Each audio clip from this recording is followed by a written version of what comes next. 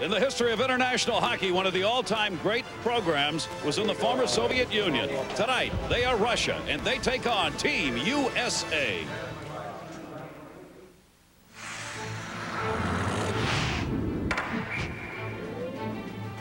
For Ron Wilson and Team USA, it's back to the drawing board. The United States takes on Russia in hopes of rebounding from their loss against Canada Tuesday night. The Americans are going to have to play tough against a high-powered Russian offense. It's time to renew an old rivalry. U.S. and Russia collide next, ESPN 2.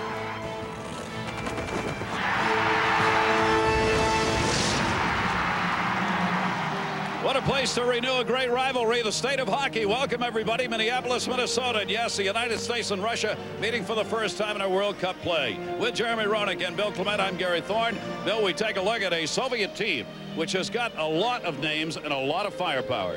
Well, when you think of the Russian team, think of Russian rocket fuel, think of high octane. I mean, this team is so loaded with firepower. That's what Team USA is going to be up against. And they are led by a youngster that plays for the Atlanta Thrashers named Ilya Kovalchuk.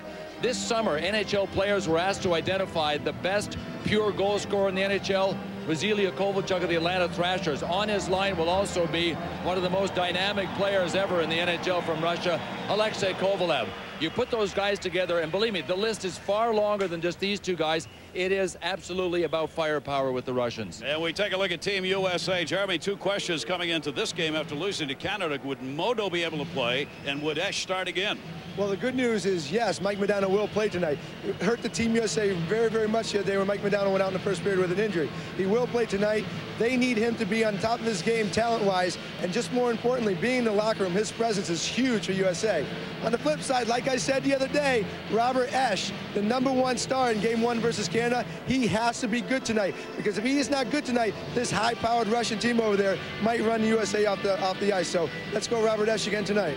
This is a Russian team. Uh, it's really hard to tell exactly how good they are because this is going to be their first game in World Cup play this year. They are teammates in Detroit. Pavel Datsyuk, who can get it done. He teams up with Chelios. They both play tonight, but they are not teammates. Welcome back to the Toyota pregame show. Barry Melrose, David Amber, great to have you along. They're almost set to drop the yep. puck in Minnesota. First, though, we got to talk about this matchup. USA and Russia, both those teams expected to do well, but both those teams coming in with the same question mark. And I think America answered their question mark, and that's goaltending. Robert Esche played great in game one, just like Jeremy said, but can he do it two games in a row, three games in a row? That is the question mark against Russia. Russia goaltending looked solid. You had Khabibulin, you had Nabokov, both of them great, great NHL goaltenders. Khabibulin would not come to the tournament. And Nabokov got hurt, so the Russians are going to go with unknowns in net, so that's a question mark for them. But the Russians have been terrible in international hockey since 1992. Once the greatest power in the world in international hockey have really slipped, basically because the players are very indifferent and they haven't really played hard in the tournament so far up to this point. Maybe this will change. They got younger players now, uh, and we'll see if they can play with a little bit of heart and a little bit of fire tonight. We'll find out momentarily in yep. Minnesota. Earlier today, we found out a lot about the Finnish team yep. looking very good once again. They haven't surrendered a goal so far in this tournament. And Germany, the victim today. Germany played very well today. The game was close. Uh, you see right here, they had some chances. They had a five on three for two minutes. That basically turned the game around. They didn't score. The Finns are great defensively. Teemu Selanne is their lead. Great shot there on a power play uh, for the Finnish side. They're very solid defensively. They're very solid without the puck. They pick people up, and they've been getting very, very good goaltending by Kiprusoff. What a backhand by Jere Lehtinen of the Dallas Stars. This just does not happen anymore in the game, folks. What a rocket. Kolzig played well, but not enough. 3-0 is your final. Finland improves to a perfect 2-0 now, matching Sweden, who is also 2-0. It's going to be very interesting. Saturday night, baby. Two. Saturday night. Going to be a great one there. And it's going to be a great one in a matter of moments in Minnesota. Speaking of great ones, Brett Hull. How incredible was this guy back in 96? He led all scores. Can he do it tonight for the U.S.? We'll find out next.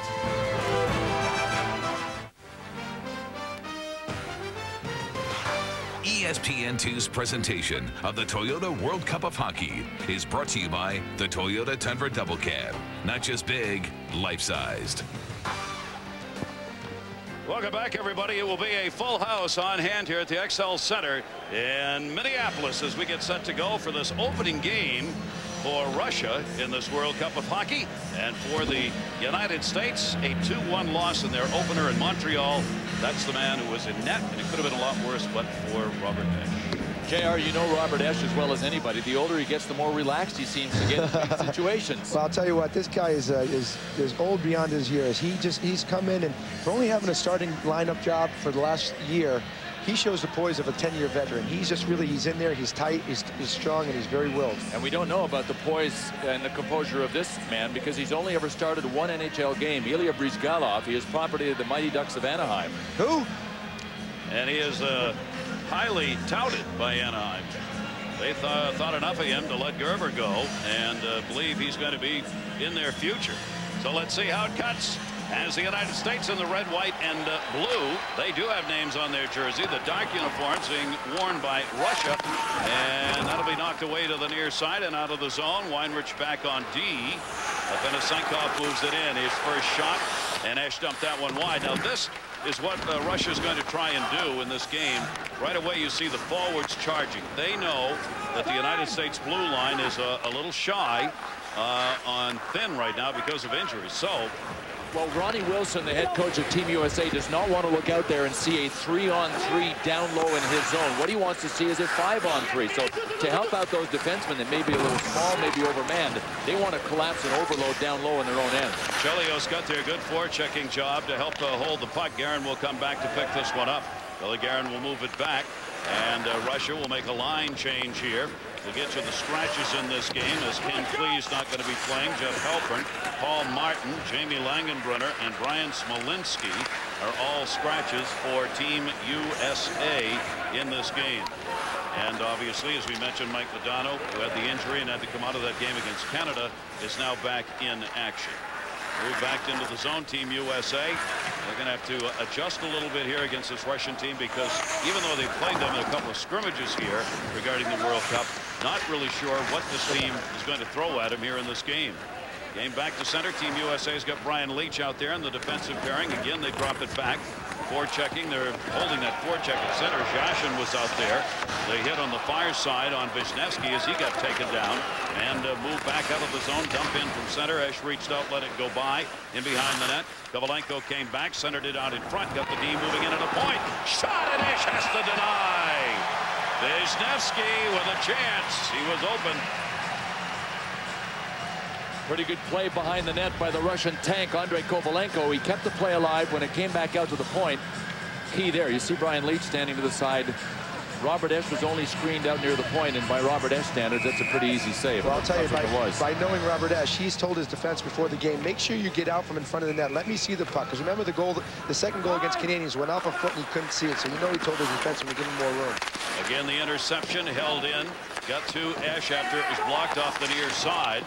Off the dump in by Volchenkov, who's working on defense.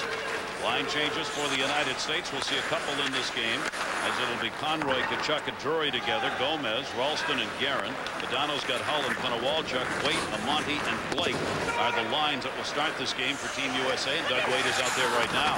Weight dumped it back in behind the net. Amonte sent it out into the middle, but didn't have anybody there. Second time a pass from down low like that by Team USA has backfired. And the one thing that will kill you against the Russians is turnovers. Look at the move by Datsyuk, Set it up. Esche holding. Shot. Hit him in the pad. He's got it underneath him. This is exactly what I said in the beginning of the game. These Russian guys are talented. Datsyuk plays for Detroit. He might have had the prettiest goal I've ever seen last year. Watch the hands. You can't teach this, people. Look at it. Oh, my gosh. You can't toe talk a professional athlete like that. And then another great save as you played that perfectly. And JR, that, that started with Tony Amonte trying to blindly center the puck out deep in the Russian zone. And that's what we talked about. There's Tony. And he will learn from, the, he's from saying right he's, there, what am I thinking? Well, he's being told that, too. You can't do that against this Russian team. They are very fast. Oh. And Brian Rolston said the other night he thought the action in that game against Canada, shot from the point got blocked and all the way down to the other end. Rolston thought it was faster than the Stanley Cup playoffs. He said that's about the fastest hockey that I've ever been involved in. Centering pass just deflected wide. Team USA got it down low, but it never did end up on net. Bryzgalov had that one go wide of it. Circling in, Afinogenov back in behind the net, trying to tuck it in with one hand, couldn't do it. Got deflected to the near side. Boy, they're skating. Little haul down, um, more of a fall down than a haul down, and it'll be held by Team Russia into the corner. Knocked off the puck, Frolov. Alexander Frolov, number 24. 24 goals last season. Played back around the near side. Team USA having trouble getting it out. Esche had to knock it away again. Pretty good forechecking job right here by Team Russia. And Gary, with the collapse, meaning that all, all players down around Robert Esche, the point men for Russia will be open for the shots in the blue line. Another shot, another save by Esche. Rebound bounced up in the air. Uh, Fedoganov cutting in at another opportunity. And you can see how this Russian team is getting through and around Team USA's defense. Well, good news, I think, for U.S. It looks like Esche's going to be on his game tonight. He's played every shot in perfect position. He's made a couple of big saves already, as he had to do with the other night. Team USA getting set up in front. That got deflected away, and it will be coming up. for Bryzgalov moving out after Brian Rolston. The puck just went behind him. Is there a better player in this tournament when you isolate guys one-on-one -on -one than the Russians, JR? Without a doubt, the Russians can control the puck with their sticks better than anybody in the whole world. You're going to see plays by them, toe tucks, through the sticks, through the legs, and they're going to try to go high every time they get in close. There's, there's nobody determined per team that has more talented guys in Russia. We, we, were sitting up and watching them this morning, and it was amazing. And Sean Burke is here, a goaltender uh, that also plays with Jeremy Roenick. And uh, Sean Burke was just marveling at the Russians' ability to get into the paint and then put the puck off the crossbar. They are they are quick. That'll be dumped back into the zone a little bit further. Aaron Miller had to come back to get it. 4 nothing. the shots in favor of Russia. Early on in this game, they've had the chances at the four minutes into this first period. Modano's back out there. Konowalchuk, the intended. That got blocked again. Good play made by Samsonov, and he could fly. Shot through the middle. That was really a setup, not a shot. They tried to get it over off the near side boards. Could not connect on it. Right now, Russia's flying a little bit. Modano, that a save made. Bryzgalov had to knock that one into the corner. Good setup by Konowalchuk. The D backing up and the high man in the middle was Amonte. That's what Team USA is doing to try and help out their blue line core is drop that centerman back, way back to the blue line in order to help cover when Team Russia's coming out of the end. That got blocked in the corner, shot loose behind the net. Amazing part early on to me is that Team Russia's forecheck has been able to actually intercept three pucks and hold them in. You know what? They actually trapped against Team USA in a pre-tournament game there's no trap here. No, this is work. As Alexei Yashin, 79. Yashin dumped it off on the far side. He's got Kvasha. Kvasha sends it off the back boards as it hit the side of the net. Yashin set up in front of the net. The D is open. The shot, that gets deflected wide. Gonchar, plays for the Washington Capitals, is open again. There he is, one-timer. Gonchar save, rebound. That deflected straight up in the air. Big chance by Zubrus. Dainius Zubrus, shot again from the blue line. That one goes wide as Kasparaitis was wide open. Rebounded in. Esche trying to find it in the skate, and he does. Well, this is exactly what we don't want to happen for USA. They're just standing around right now. I think they're all just kind of wait, waiting to see what the Russians are going to come out and how they're going to be flying, how they're going to be moving, how energetic they're going to be. And right now, they're just really too flat in their own zone. And you see Eric Weinrich just kind of uh, just misses the puck behind him. But again, Esche is just right in, right in, in good position to get his foot on the post. This looks like uh, the game against Canada's first period a little yeah, bit, doesn't it? Does. it? Yeah, it does to me. I mean, this is Esche against the world for a moment fanned on that time by Kovalchuk as he was coming back into the middle. He had a pretty good chance there, too. Moved through center by John Michael Liles. Lost it there. Another turnover. Team USA having trouble moving. That, that will kill him. The other thing Team USA has to do is get the puck in deep. Another interception down low. Set up and maybe one pass too many. Domalenko open on the near side for a moment. They tried to get it to him and he got covered. But that created from another turnover. 14.03 left to go in a scoreless first. Well, this morning I talked to Coach Ron Wilson, and I know he was uh, he was very depressed about the game the other day against Canada. But he said the one thing that changed the whole thing was the physicalness. Watch for Keith Tkachuk, Billy Guerin tonight. They have to make their phys physical play seen tonight because they're the ones that changed the whole game the other day against Canada. Watch them to be physical early. Ryan Leetch comes back up defensively. He's working with Aaron Miller. Miller the University of Vermont college days. A lot of college players on this uh, USA team. Back down low, got dumped around by Vishnevski. And he moved it up the near side wall, couldn't get it out of there. Gunned right back in. Billy Guerin's got it. Guerin drops it off on the point. Shot Miller. That goes to the near side boards. Miller was wide open on that right point and wound up and got a lot on it. Miller trying to chase it down to get a whistle. And he does get there. Great to have you with us. Minnesota's the state. Not many people are giving the Russians a chance to win this tournament. In fact, Coach uh, Ron Wilson, the U.S. told me before the game, he thinks Russia might be the most dangerous team out here because of their individual talent. And uh, Alexei Kovalev told me they're going to play the Russian style, which means puck control, making plays, skating, and controlling the game. And Ron Wilson said for us to be effective, we better hit and we better play in their zone. Hasn't happened yet, guys. They are finding that out early, Joe. Thanks very much. Cleared around the boards off the far side. Team USA trying to hold it in, get some offense going here. Uh, they uh, have not had the puck in the zone a lot. Billy Guerin down low, trying to cycle it, looking. That one moved all the way up the center. Look at the transition game. This is where they are flying. Into the corner, Afinogenov. He tries to squeeze through on two. Frolov. Frolov leaves it. Afinogenov dumps it back in behind the net and gets dumped down and a penalty coming. It's going to be on Team USA. Aaron Miller waiting on the call. Extra skater, and there it is. It's a tripping call. Yep, Buffalo native on a Buffalo player. Aaron Miller, the native of Buffalo, just tripped up Afinogenov, who plays for the Buffalo Sabres. And this puts the dangerous Russian power play out onto the ice. Well, this is this is what scared me in the beginning of the game, knowing how fast and how agile that the Russian players are. With the big, some of the big guys that they have back on, on defense, I know there's going to be a lot of hooking and a lot of holding, and because of that, there are going to be a lot of penalties by the U.S. I really still think that that one of Russia's big strength is the talent and the skill of their forwards. It can also be a weakness because often they don't play as hard defensively as offensively, but you got to play in their end to exploit it. This is a power play now. They've got Gonchar back in the umbrella power play. He's in the middle. of pass to him got deflected. Short-handed opportunity. They move it up off the near side. Backhands it into the middle, and it just got deflected wide. Good opportunity right there to try and set up a short-handed chance. That one gunned and goes wide, and they'll get a whistle on it as Eric Weinrich wound up and took the chance. Want to remind you tomorrow the Toyota World Cup of Hockey continues on ESPN and ESPN2 at 1 o'clock Eastern, 10 a.m. Uh, Pacific. ESPN has Jaromir Jagr in the Czech Republic against Germany at 7. ESPN2, this USA team takes on Peter Bondra, Slovakia. That's all coming up tomorrow. Power play. Keep in mind, this is Russia's first game. They uh, get into it here in North America. The four teams last one to play, and now they got to clear the zone.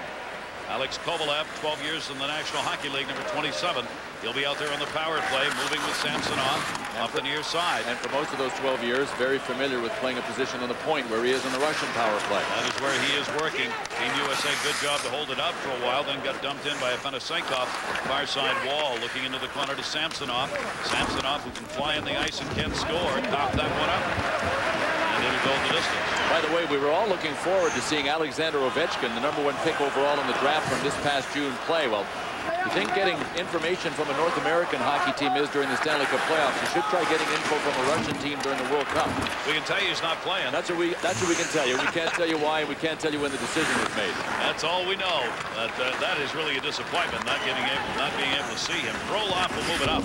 Frolov got hit. He wasn't ready. He wasn't ready for the American power yet. Hadn't turned around on that one.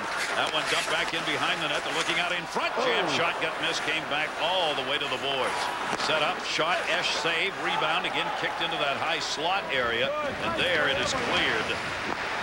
Power play time at 15 seconds for Russia. Really, against the Russian power play, you, you, don't have to. You always have to be concerned about rebounds, but but they don't score as many blue-collar goals as most of the teams you'll see in this tournament. They'll score them with finesse, not driving for rebounds. Open again, shot just wide of the net. Boy, that was a gun by Alexei Yashin. Penalty is over. They had one shot on the power play. Do not convert. Dumped into the middle. Shot Miller. Blocked. Sliding around Bryzgalov down low. Had it covered. He uh, gave up nothing along the ice. See, that's a problem that U.S. is having the lack in the first two games. You get into a situation like that, you have to put that puck in the net. Make extra passes, make cute passes. It's not going to work. The first guy with the puck over the blue line, get the shot on the net. Other two guys get to the net, get the rebounds. Here we go. This shot has got to get on the net by Conway. He makes a good pass, but there's nothing to go, nothing to go at. The defenseman makes a great play. Put that puck on net. You have two on one at the front of the net with the two rebound guys. And that's something that Team USA wanted to do is play a, a game that's more straight ahead here tonight. They uh, haven't done it yet. Yeah, well, it looks like Team USA is going to get a shot at a power play right here, right off the face-off. A holding call coming. Paul Devorski, Brad Watson are our officials. Brian Murphy, Tim Nowak working the lines. Well, this was just a holding. It was a great call. U.S. guy's going to get the puck, but like the like all the NHL guys do nowadays. Hold, hold, hold. I hate it. Good call by the referee. A power play after Russia had their opportunity. Leetch dumps it far side for the shot. That got deflected up in the air. Watch Keith Tkachuk in front of the net. Watch the pounding this guy takes. He gets his body in front of the net. He is so hard to move where he gets most of his goals. But there's no one that's going to move him out in front of the net. And you watch him getting there. He might score a goal in a tipping right now. Number seven, that's Tkachuk. He's working uh, right there. There he brings it back out into the middle shot. That one went wide again and all the way back out to center. Oh, hold on. I forgot to mention Brett Hull with his one-timer from the slot. Didn't get that one on that. Don't see that happen very often that he misses the net. Holly will use usually, when he's open like that, find a way to get it there. Bryzgalov moves out. That's Modano moving up. Modano, Hull was waiting behind the net. Leetch has got to come get it. It'll be held onto by Leetch. Power play time in a minute 15. I don't see any big jump in Team USA here in this first period. They have a, just a bad habit of trying to feel out the other team in the first periods. They want to see, like I said earlier, how the Russians are going to react here in Minnesota in front of their own fans. But isn't this where, where part of the philosophy that they wanted to adopt tonight would come in handy, and that is playing a straight-ahead game? Like you mentioned, get the shots on goal, get the pucks in, establish an energy game before you try to out-finesse the Russians. Exactly. It's, but it's so easy from up here. Get get down there and throw some bodies and get the puck to the net. Let's go. Well, get down there then. I'm okay. trying to. The shots are 6-2 in favor of Russia. In the first period against Canada, Team USA was outshot 19 to 6. So not nearly as bad, but territorially not good. Bryzgalov had that one jump over his stick that time. Played in the corner by Vishnevski, trying to move it out of there, could not. Still time 42 left on this power play. Team USA has the advantage. Michael Liles. Now Michael Liles is working the power play off the near side. Youngster getting a lot of chances out there in front. Oh, Billy no, Guerin, where did that go? Billy Guerin had the entire net. And the puck somehow went all the way through it. He never got a shot off on it. Weight works it into the corner. Guerin getting set up on the dot. Back out onto the point. Guerin comes to the top of the circle. Hrabowski shot deflected in on net. Bryzgalov's there. Puck still loose. He can't find it. That one gets blocked out in deep. Tavadorski put the body down and blocked it. Vishnevski kicks it away to the near side, and that's going to do it. One final clear, and the power play is over. They did not get a shot. They did get a chance or two. Now we're back to five-on-five 5 hockey. Here's Blake moving up the near side. Blake getting a big hand. He is from Moorhead, Minnesota, and it's his 31st birthday. And he's in the lineup that he wasn't in the other night. So Blake, number 55, he came out on the ice, and that was the roar from the fans. It's all coming together for Blake. All coming together for Blake. Back into the middle. Kovalev going to the net, looking for a return pass. Shot just missed wide. Samsonov skated around everybody. They are moving. Volchenkov came back, dropped it away. A couple of players on this Russian team who are not playing in the National Hockey League, but who play on one of the three leagues in Russia. Moto trying to catch up with that ahead of him. Volchenko clears it around the Chant Team USA. Hull shot. That one got deflected up to the near side. Boy, that one in there like a bullet. Kovalev cleared it up and out. Nobody there to get it, though, for Russia. Russia moving back. Samsonov putting the pressure on at center ice. Mike Modano moving in. Modano Shot that one wide of the net. Hull's over there on the far side. Could I get to it? Down to 7.30 left to go in this first period. No score.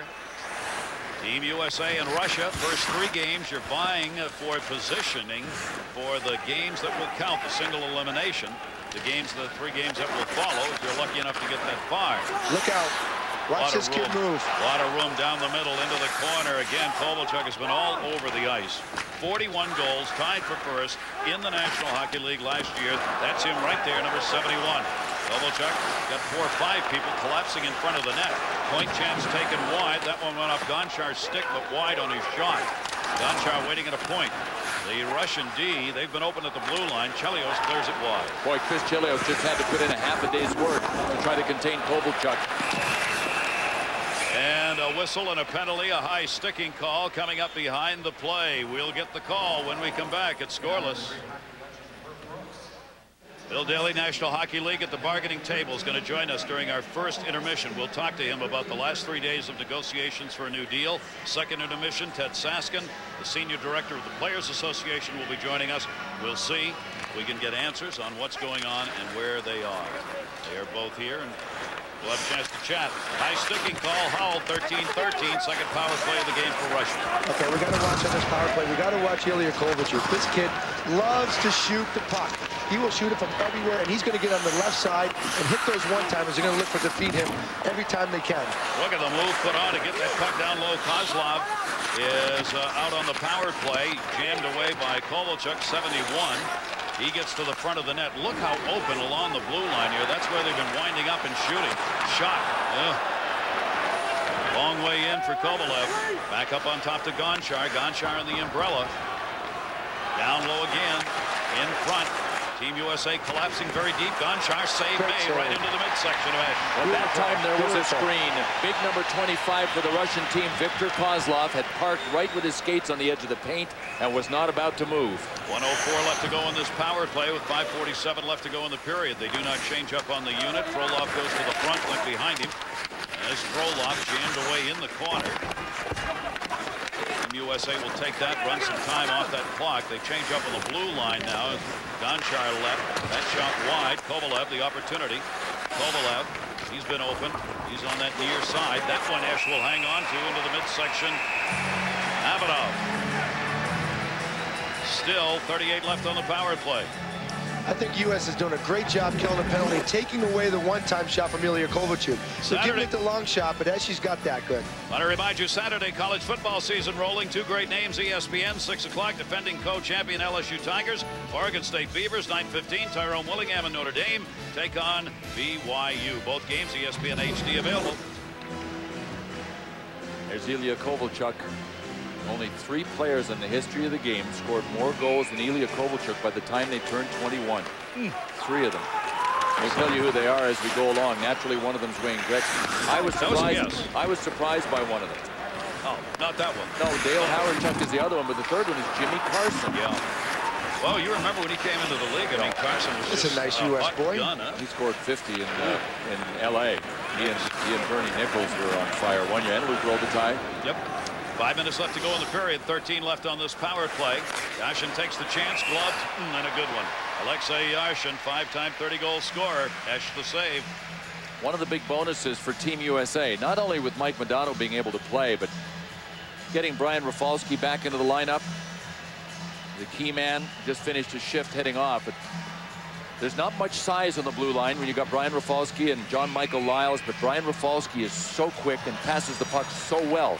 The size never seems to be an issue with him. He just beats people to the puck. Gonchar again and again. Ash able to hang on as Zubrus was trying to set the screen down low.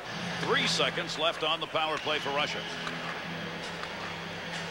Boy, he's being tested again.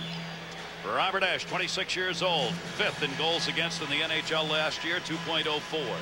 And he has been spectacular. The first four periods he's played here, Gonchar winds up, doesn't take it. Then again, a shot save made again by Esche. Penalty is over. Five shots on that power play. Deflected in front. They couldn't turn it. Leetch was there to knock it away. Beneganoff was down low, waiting right in front of the net. We're back to five on five hockey now. The shots are 11 to 2 now in favor of Russia. Walchuk heading to the net. Mike Modano dropped it. Miller shot. That one got blocked. Used the body. That hurt Kasparaitis. Gets right back up. Kasparaitis went down on the ice and blocked that Aaron Miller blast. That's vintage Darius Kasparaitis. There's not a tougher Russian that's ever played this game than that save made on Modano's chance on the high slot. Bryzgalov flashing the right pad.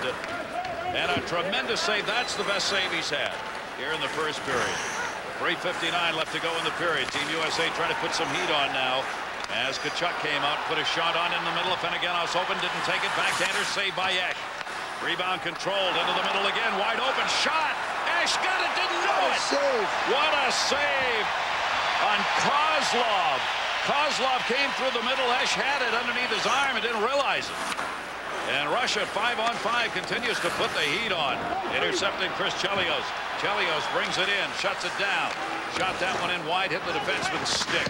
Turned up the far side over Tkachuk's head, and Kozlov couldn't knock it down. Tell you one thing that Russia's doing that I'm really surprised at. I mean, they're playing a complete game, and that includes backside pressure. Saw Chris Chelios get the blue line there. He had no time to make a play because he was getting trapped from behind. Sometimes the Russians will come with a big back-checking game, and sometimes they'll look like they're more interested in going the other way.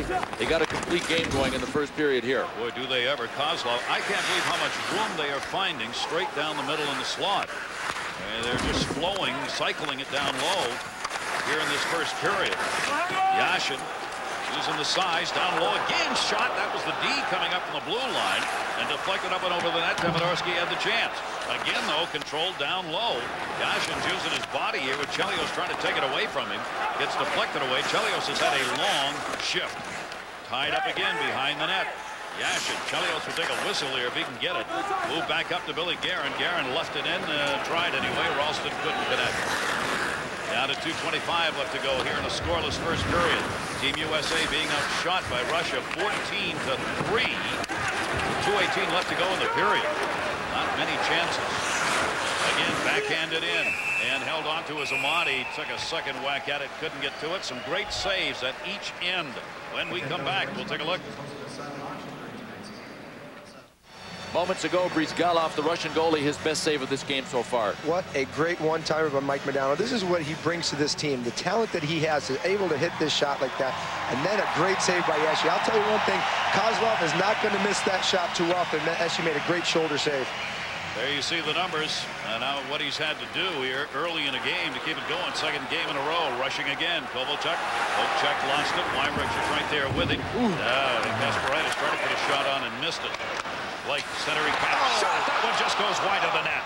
Great setup right there. That's one of the best charges Team USA's had. Another opportunity. Puck bounced all over the place and never ended up on net. Gary, that all started with a big hit by Darius Kasparaitis, and that's a big ooh and ah kind of hit. But you saw the chances that Team USA generated because Kasparaitis got caught in the neutral.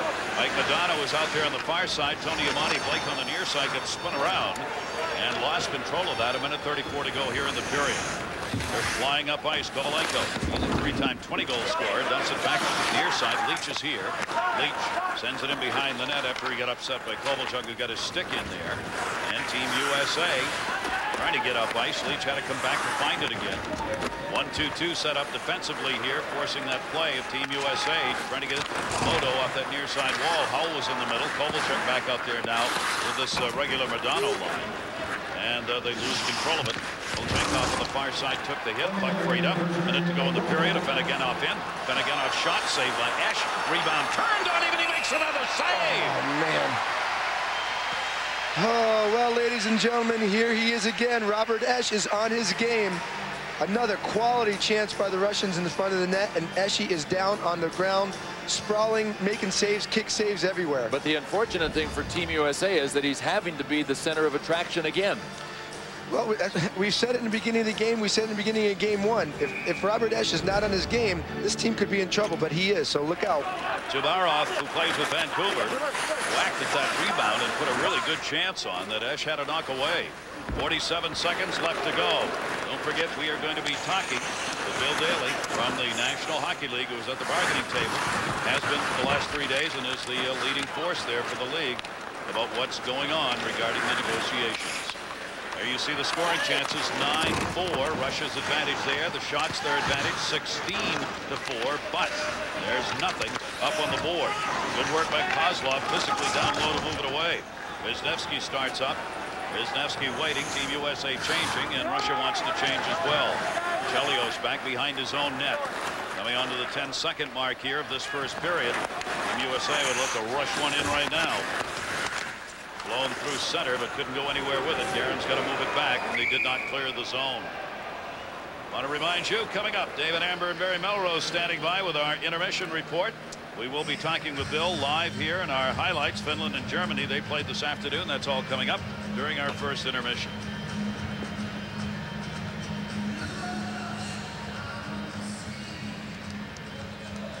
Big Billy Guerin was the lone scorer two nights ago in the loss against Canada that Team USA suffered, and he may have to be a factor here tonight against Russia. I'm surprised at this first period. I'm just surprised. I thought Team USA would come out with a little more fire, and we really didn't know what we were going to see from Russia. What we've seen is a team that's ready to go. No score after one.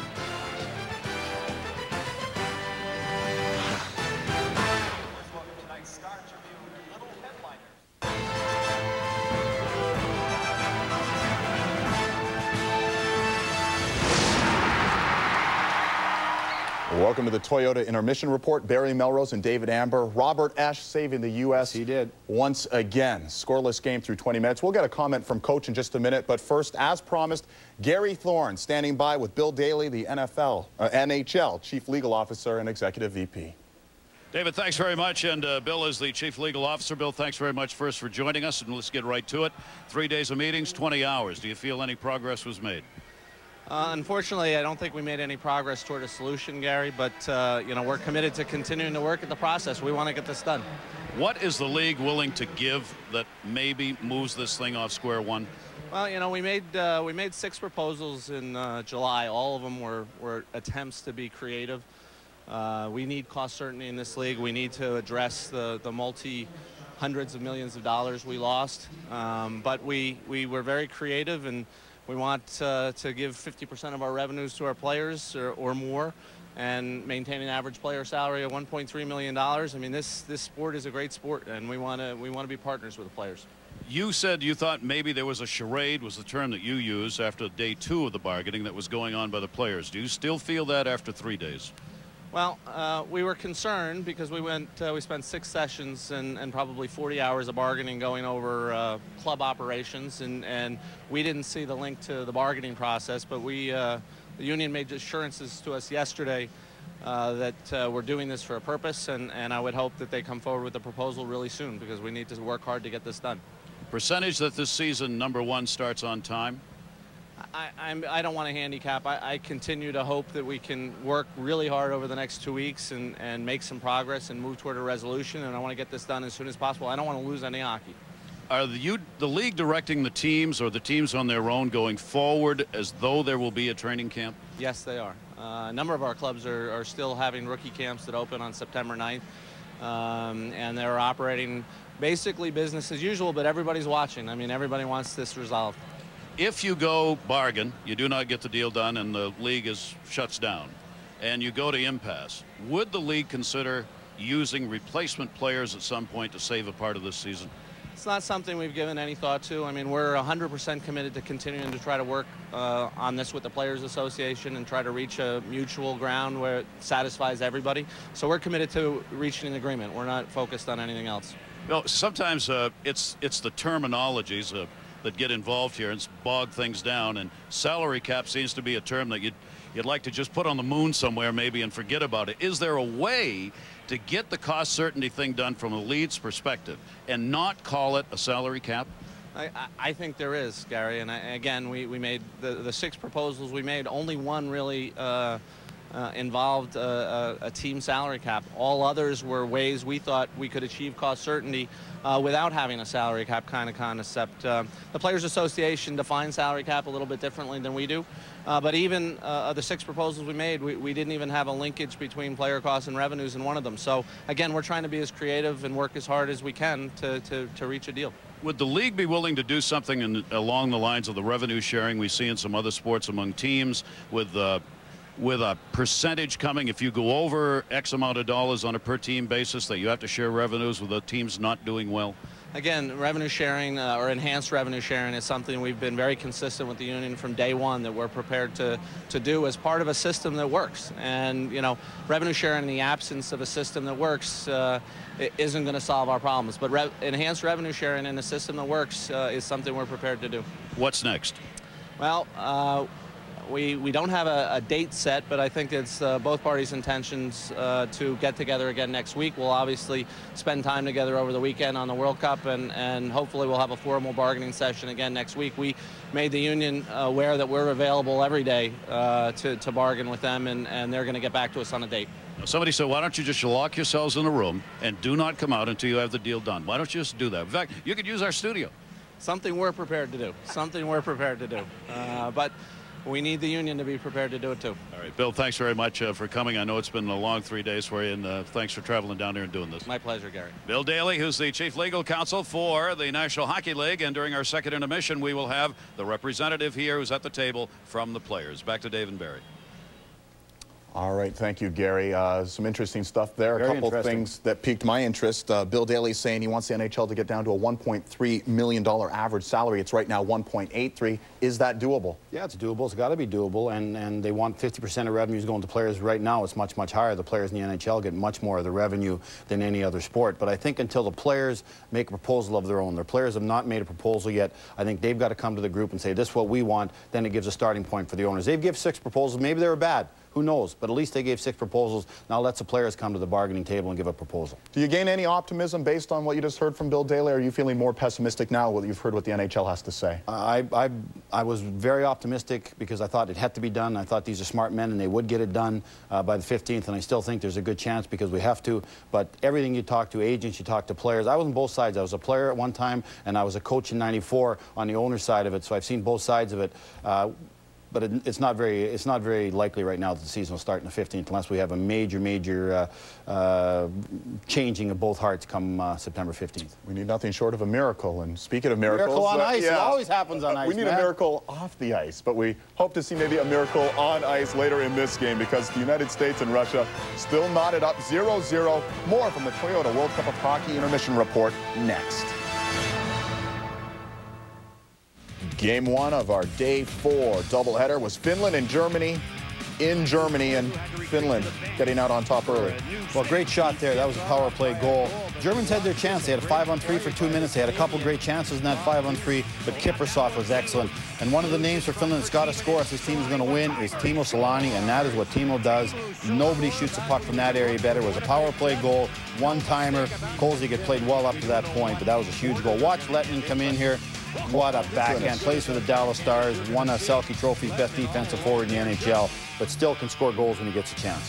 Finland wins this game 3-0. Miikka Kiprusoff, two shutouts now. Finland's now a perfect 2-0, and another good omen for them, Barry. They've had seven different players score so far in this tournament. That's how it stacks up. 3-0 Germany, uh, losing this one to the Finns. 2-0 Finland, 2-0 Sweden. Saturday, the Finns play the Swedes, so that is for who the right to play Germany probably, because you got to think the Czechs will beat Germany. Canada's playing very, very well right now. They're watching this game. They got to be impressed with the Russians, the way they played in that first period. Obviously, Slovakia is a weak sister in that division, so it probably will be Canada against Slovakia in the first round of the medal round. So hockey's well underway, and college football now underway as well. And of course, this is the place to be tonight, 9:30 Eastern, Northwestern. The Wildcats taking on the Horned Frogs of TCU right here on E ESPN2 immediately following the USA-Russia game. Should be a great one. Keep it locked right here. Robert Esche, a busy man. Can Team USA get their act together? We'll find out. The puck drops period two next.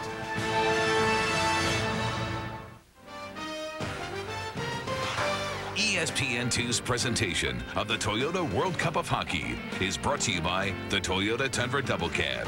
Not just big, life-sized. Russia's been flying. Team USA has had to hang on. Another first period as against Canada, where they were severely outshot. Welcome back, everybody, with Bill Clement, Jeremy Roenick. I'm Gary Thorne. Second period coming. Well, we talked about establishing a hitting game. You did. Talked about Billy Guerin and Keith Tkachuk, but my feeling is that it helps to, to get that kind of game going if you're in the offensive zone. Offensive zone. Do anywhere. Offensive zone, defensive zone, neutral zone, hit somebody. These guys are flying around and they're just watching. We got to get some physical presence in there. USA got to get in there. It's got to start with Keith Tkachuk and Billy Guerin. Just like that. Don't start. I'm telling you right now. I'm going to start pushing back, okay? Okay, good. You do that. I'll take care of the game. Let the NHLers do that part of the stuff. All right, 16-4. Uh, Russia with the advantage in shots in that first period. Last two games, 35 to 10. That, of course, the Canadian game, Team Canada against Team USA. Those were first period shots, 35-10. The Team USA has been outshot. What do you think Ron Wilson said in between periods? Things we can't say. do you think? I think there was a lot of four-letter words going on down there. He's not a happy man over there right now. Darn. He is the man who coached the 96 team to an upset over Canada in the World Cup Championship, the last one to be played. Canada's playing lights out right now as they've already gone 2-0 in the tournament. Team USA taking on Russia. Russia playing for the first time. Tkachuk in the intercept shot. Oh, save. Rebound. shot. Into the middle. And a penalty coming in. A power play for Team USA. That's exactly how USA has to start. Keith Tkachuk on the offense, pressures the defe defense, turns the puck over, and then gets the shot in the net. Rebound, penalty call, power play. And he didn't try to fine-tune it once he got to the sharp angle. He knew that if he got a shot on Bryzgalov, he might at least be able to get a rebound, and that's what he generated here. Exactly. Well, this is what I said. You can't make cute plays. Keith Tkachuk is a grinder, gets it to the net. Now we got a guy coming to the net for a rebound, and they can't keep up when they have to take a penalty. Team that has scored first has won all six games so far in World Cup play. It is nothing nothing here. Team USA gets the power play. They're second as Kovalev out for tripping at the 14 second mark. So a fresh sheet of ice to work this power play on in a full two minutes worth. Doug Weight on the half boards left it shot. Oh, shot. save. Rebound. Tkachuk knocked it down. Tkachuk it went wide. Two good chances. Tkachuk got that one out of the air. Here's Weight again. Weight brings it all the way down to the hash marks. They'll use the umbrella here. Two in the slot for Team USA. Weight's got the puck. Little room down low. Tkachuk trying to center. It was blocked. Watch out for the speed here. Short-handed as it's moved out of the zone. Zubrus got it up ice. Team USA will regroup. A minute 20 left to go on the power play. First power play they did not get a shot on, even though they had a couple of fairly decent chances.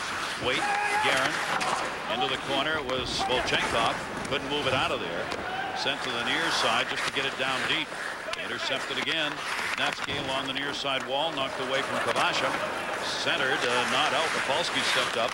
Intercepted, turned along the wall. Rafalski trying to hold it in. He couldn't find the puck. Held in by Leetch. No. Boy, that's a pretty concerted effort by Yashin. Alexei Yashin in the corner. He was on his knees, still got up and made the play. I'll tell you, the Russian team is as hungry as any team I've seen in the World Cup so far. I agree. They're ready to go. Back into the middle. Opening shot. Save again. Toe. Wow. Bryzgalov having an opportunity in net to make the saves now for Russia. Modano trying to tip it ahead. And it died. Hope came back to pick it up. 27 seconds left to go. Team USA that close to getting one on this power play. Hull let it go by him. Actually could knock it down and is cleared by Kasparaitis. Well, you can see why Anaheim's high on this goaltender. That was a great save, especially against a guy like Calder. One timer off that post. He's not going to miss that too often. He really slides back and forth in a hurry. Modano shot. Blocked. Oh, what a save. Oh, I like to see U.S. coming out with some jump, especially in the power play. This kid, I, I haven't heard of this kid before, but I'll tell you what, he's made some great saves to keep this this game 0-0. This is the one on Mike Modano just a second ago. Bryzgalov for, for Team Russia was an absolute unknown for most people internationally that follow the National Hockey League and follow the big name players. For the scouts that watch the American Hockey League over here in North America, Ilya Bryzgalov is no secret at all. He's Good playing player. People in Cincinnati know him. We're hockey fans. Bryzgalov playing there in Cincinnati in the Mighty Ducks organization. And he has been outstanding. He's only 24 years old. He had a 2.32 goals against this past season in Cincinnati. Four shots on that power play for Team USA, but it's over. They do not convert. They're going to wave off. And the icing, Bryzgalov came back out to play it. Well, Volchenkov lost it into the corner. He's got to come back to get it. Good work down there by Craig Conroy in the intercept shot. Miller, save made off the glove. Centering pass out in front. Blake was there, couldn't get it to him. Two back, three on two. Blake gets back to help cover. Three on three. That one, uh, I heard a whistle, was not. Again, back in behind the net, Datsyuk. Pavel Datsyuk, who can fly. To chase that down and could not get to it. Conroy, the long up ice, two lines. Tony Amonte. Robert Esche, the key factor for Team USA in the first period. Without him, they could have dug a hole for themselves. He faced long-range shots, close-range shots, wide open shots from the slot. As in period number one against Team Canada two nights ago, it didn't matter. Robert Esche was still terrific. We're seeing a replay of the Canadian game now. USA has already had five shots here in the second period. They had four total in the first. It's the same thing that happened to them. The one difference is they're not behind on the scoreboard as they were. the big difference right there. Look out. Intercepted shot deflected to the near side. And the hit put on by Samsonov. Playing with the Boston Bruins, of course. This is five on five hockey now. Monty spins around. Bounced off the post on the outside. It ricocheted off players lined up in front. Team USA getting some players in front for screens, and they're just trying to dump it down low. Centering pass blocked again. Chelios was the man who dumped it down low. He had three teammates in there. But they could not convert on it. He'll go back to his own blue line as Team USA will come over the boards, and that's going to be whistled on a two-line. Did they change uniforms in between periods? These are two totally different teams from the first period. USA has come out and really, really taken the control of the game, and Russia is sitting back on their heels like, what's going on around here? Ladies and gentlemen, in the first period, wearing blue, Dr. Jekyll. In the second period, wearing blue, Mr. Hyde. Amazing uh, how it's gone two games in a row Oh, like my this. goodness. And moved back up by Rafalski. He got it deep into the corner. Team USA is trying to get people in that low slot area, that high percentage scoring position to get get open, and they're they're doing that. Backhand chance. Bryzgalov was down. Guerin trying to back it in. It never got there. Good work down low. Billy Guerin centered again out in front. You see the Russia collapsing. Temedorsky couldn't clear the zone. Olchenkov was back there to help. This time it'll be moved out by Zubrus. Zubrus sending back into the middle. Little room. Kvasha Oh, backhander. nice save, Esche What again. a save. Esche with a tremendous save and what ended up being a short breakaway there for Kvasha. He was wide open, the New York Islander forward, almost. Team USA right back the other way. Guerin shot deflected straight up in the air. Guerin's finding a little room here at the start of the second period. Moved out by Zubrus. Got Kvasha on the right side. Konowalchuk will come back to get him. Lee Konowalchuk took it around the net. Hull at center. Tip pass. Couldn't connect on it. And Team USA looking to make a line change here. Scott Gomez held on to it. That one will be whistled. Want to remind you, ESPN is proud to offer coverage of all 19 games in this Toyota World Cup of Hockey. This holiday weekend, four games will be broadcast live. Free preview weekend, E ESPN2Broadband.com, including the Canada-Russia game at 7 Eastern. That's going to be on Saturday night. Hope you'll enjoy it. Thought one of the best players for Team USA in game one was the man you're looking at, Steve Konowalchuk of the Colorado Avs. And he was upgraded to the Mike Modano line here for game two of the World Cup. Miller going to the boards. Team USA is number three out there. Gets pinned up. Got off into the corner, but not out. Afinogenov moving it back in. He shot, and Esche again. And there was a screen in front of him that time. Esche Reach couldn't get that one. Havanov sent it back in behind the net. Here comes Russia now. Working that puck around. This is the line that's gotten it done. Afinogenov on the right side again. Shot Esche with a blocker. Redirects it to the corner. Puck ends up coming right back to the dot. Hull will move it out. Brett Hull with Leetch. There's a couple of veterans. Shot wide. Leachy joined the flow, the defenseman for Team USA. Back into the middle. Team USA was trying to get a line change done. Almost got caught, but not quite. Team USA chant going from the fans here in Minnesota. They filled the building for this game. Be another one here tomorrow night that'll also be a sellout, and there'll be more to come. Again, with that line change going on, Kasparaitis trying to find a hole in the middle, and looked up, and there was Datsyuk skating in. Chelios back in behind the net, Team USA. Intercepted by Nope. Datsyuk it went right by him. Bumped off at center. Couldn't move it out, though. Conroy moves in, taking a chance and getting away with it. Bryzgalov came out deep. Watch out for this kid. Kovalchuk can fly. Kovalchuk looking into the middle, centers it there. Shot it, has to make another save. Boy, Kovalchuk knows where the puck is and where his teammates are. Another great setup, and this one is going to be whistled on the icing call. Second period, we are scoreless. Shots are 20-10 in favor of Russia. Larry Pleau, the general manager of Team USA. Larry, uh, two games now. Your team's gotten off to a slow start in the first period, but have gotten better in the second. Any reason for that? Oh, it's hard to figure right now, but Esche has been real good for us in the net, and that's a real positive, and we've picked it up in the second. I thought right off the bat here, the second period, we had some real good chances. Did the result of 96, where you won that, have uh, have any effect on on your your choosing and, and building this team? Oh, it definitely did. I think you, you're always going to look back and uh, look at the experiences you've had in the past and, and use that and help yourself uh, make decisions. Larry, thanks for your time. Good luck. Thank you. Guys. All right, Joe. And uh, you can tell he's kind of confounded by what he's seen from Team USA in these two games as we are. Right, right now, I kind of sensed a, a bit of relief, too, that the first period is over. Yep. Was, was that his, what is- was that his heart that was right in his throat Yes. from the first period? Yes, it I- was. I thought I saw something like You that. You were right on that. Doug Weight drops it off. Rafalski back in behind the net. No score. Russia, Team USA. Russia's first game. Team USA lost to Canada. Montreal the other night, and that's going to be whistled on the offside. Well, the only goal scorer for the U.S. so far in this tournament, Bill Guerin. And a lot of people don't know about Bill Guerin. He might be one of the funniest men ever in the locker room. People are drawn to him because of his wit. You know, he does an unbelievable impression of Chris Farley. You know, the, the, the one where, I'm sleeping in the van down by the river. That's Bill Guerin. He keeps everybody loose in the locker room. That was pretty good by you, JR. Yeah, that wasn't bad. Have you heard Bill's version of that yet? I'm sleeping in the van down by the river. That's JR's version. You got to give Bill some equal time on that one because you do a pretty good one, you know. I'll tell you what, he Huh? is one of No the thanks? funniest guys that you will ever meet in your whole life. Moved back up by Guerin, uh, at least tried. Dumped off the near side. Uh, Team USA, that goes through Guerin skates out the center on the centering pass. So they'll get back on side. Rolston out there with Guerin. Moved in the near side by Kozlov. Kozlov with Florida and New Jersey last season in the National Hockey League wearing number 25, even though when this game started nobody knew that. Little hook put on by Gomez. He was not supposed to be wearing 25 according to the official sheet. So uh, person scratched. Panasenkov was credited with a bunch of shots in the first period from the locker room. Save made, pulled back in and held on to. This Galoft is, is very steady. Good balance, good movement. Yep, the, the only line. Look at this, he's bent over here. Nah, he's just he's just hiding his, his face. He doesn't want to get hit by a stick in the neck. He might have got that right in the midsection, actually. That was a hard shot. I think he did.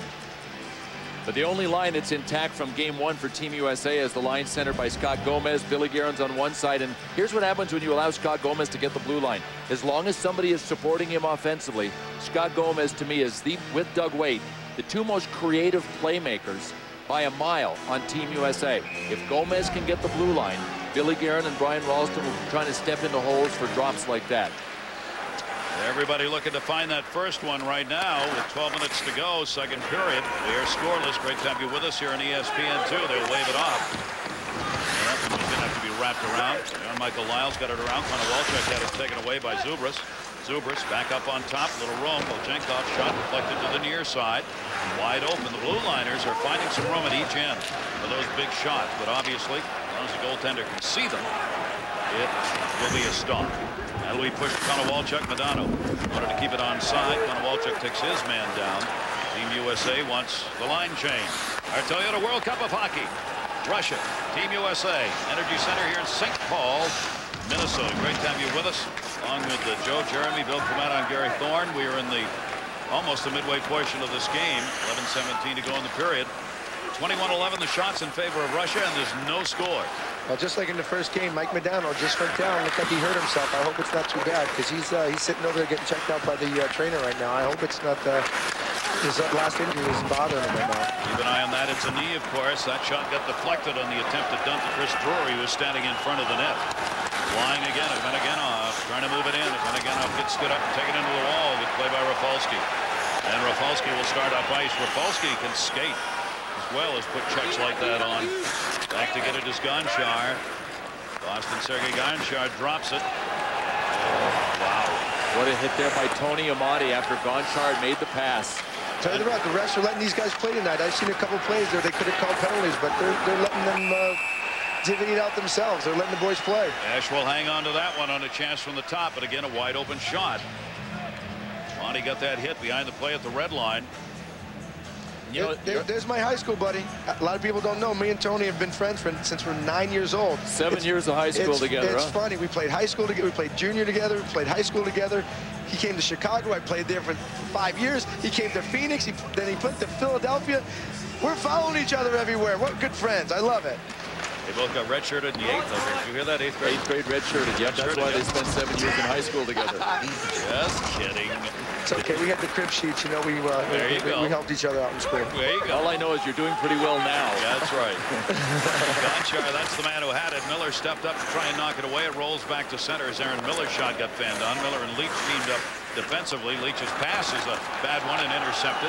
Again, down the middle shot. Esche is going to have to hang on to that one. Kovalchuk again. Heck of a game, but right now it's about the goaltenders. No score. Mike Modano for Team USA shaken up moments ago in blue on the left, now in the middle, getting sandwiched.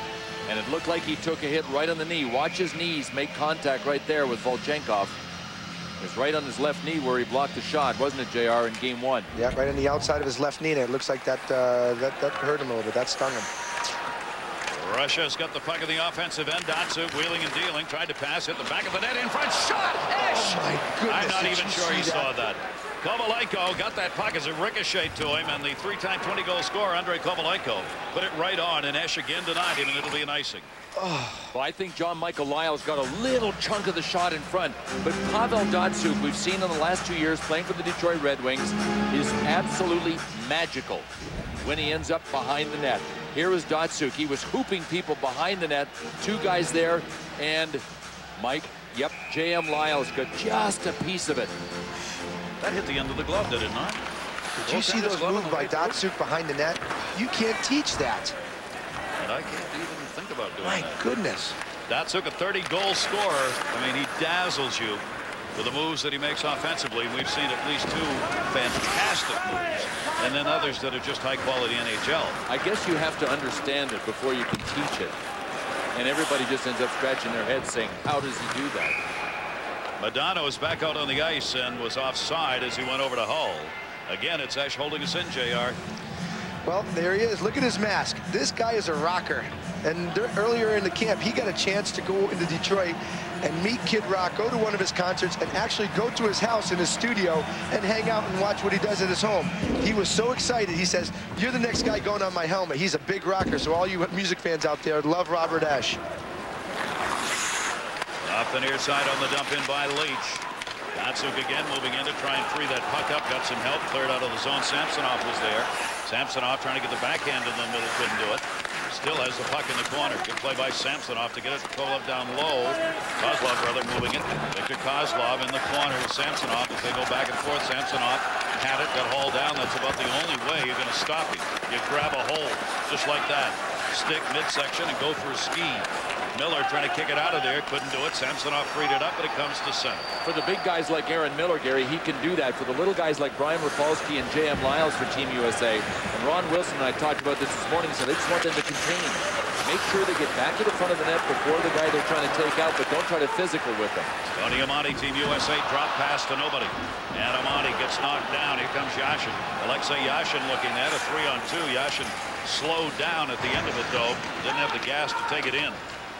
Unfortunate. Liles got back and was able to cover it up. Team USA. Again back into the end of Monty. Again lost control. Gonchar cleared it around the boards. Came back to a point. Shot deflected wide of the net. Weight turning it. You hear them hollering Dougie. That was Tony Amonte who was open in the high slot for a moment, but only a moment. Transition game of this Russian team continues to be big time. Zubrus. Zubrus backhand chance. Score! Off a Team USA member. Just an awful break right now. And you knew the way this game was going with the way the two goaltenders were playing. I just had a feeling that something weird was going to happen. The first goal was going to be a cheap one. Dainius Zubrus had a full head of steam. And it was, in fact, Chris Chelios that got back and was just getting back to the paint when Zubrus was able to make it around the net and dump it in front. But the key here is that there was no shift by the defenseman to face Zubrus, so he was able to get around J.M. Liles. When he put it out front, it went right off the skate of Chris Chelios. The big Washington cap player, Dainius Zubrus. That's gift number one of the World Cup tournament for Dainius Zubrus. He has never played in a major international tournament before, and here in his first such game, he gets a goal. He had 12 last season in 54 games playing for Washington. So a 1-0 lead taken by Russia on their 25th shot of the game. They continue to double up on shots, 25 to 11 against Team USA. Gomez helped free it up down low. He's against the uh, near side wall, tied up. See if that fires up Rush even more because they've been skating well. Shot into the middle, knocked away. Kasparaitis banging. That one goes all the way through. Billy Guerin wanted to redirect, couldn't get a stick on it. Guerin reverses to the near side. Guerin working to the front. Good hit. Kasparaitis again. He's played his usual physical game. Guerin came over, couldn't tie his man up. Three on two opportunity maybe. Frolov moved it out. Big battle going on behind the play. Shot. Esche knocks it away. Kasparaitis got tied up behind the play and just getting to the bench now. Third back up intended for Modano. Nobody touched it. And Vishnevski will come back for the whistle. Of course, Darius Kasparaitis is a guy that most players in the NHL really love, isn't he, JR? This guy is hated by more people in the National Hockey League, I think, than anybody else. One, because he goes out and he tries to hurt you. Two, he's just tough as nails. He doesn't feel any pain, this guy. But I'll tell you what, he is a competitor, and he is a good guy to have on your team. There's the incident that took place behind the play with that pushing and shoving. The goal at 12:20. Zubrus got it. Kvasha got the assist. An even strength goal to give Russia the one nothing lead. And Daggy might call a penalty. And fortunately for Modano, who did not touch up that bad knee again. Pretty nice windmill by Modano going down. Probably make the uh, Dutch team on that. Watch this. Stick was up around his waist. It's a thing of beauty. Not a real happy Kovalenko looking on. There's the tank, the Russian tank. How old is he, 60 now? He's only 34.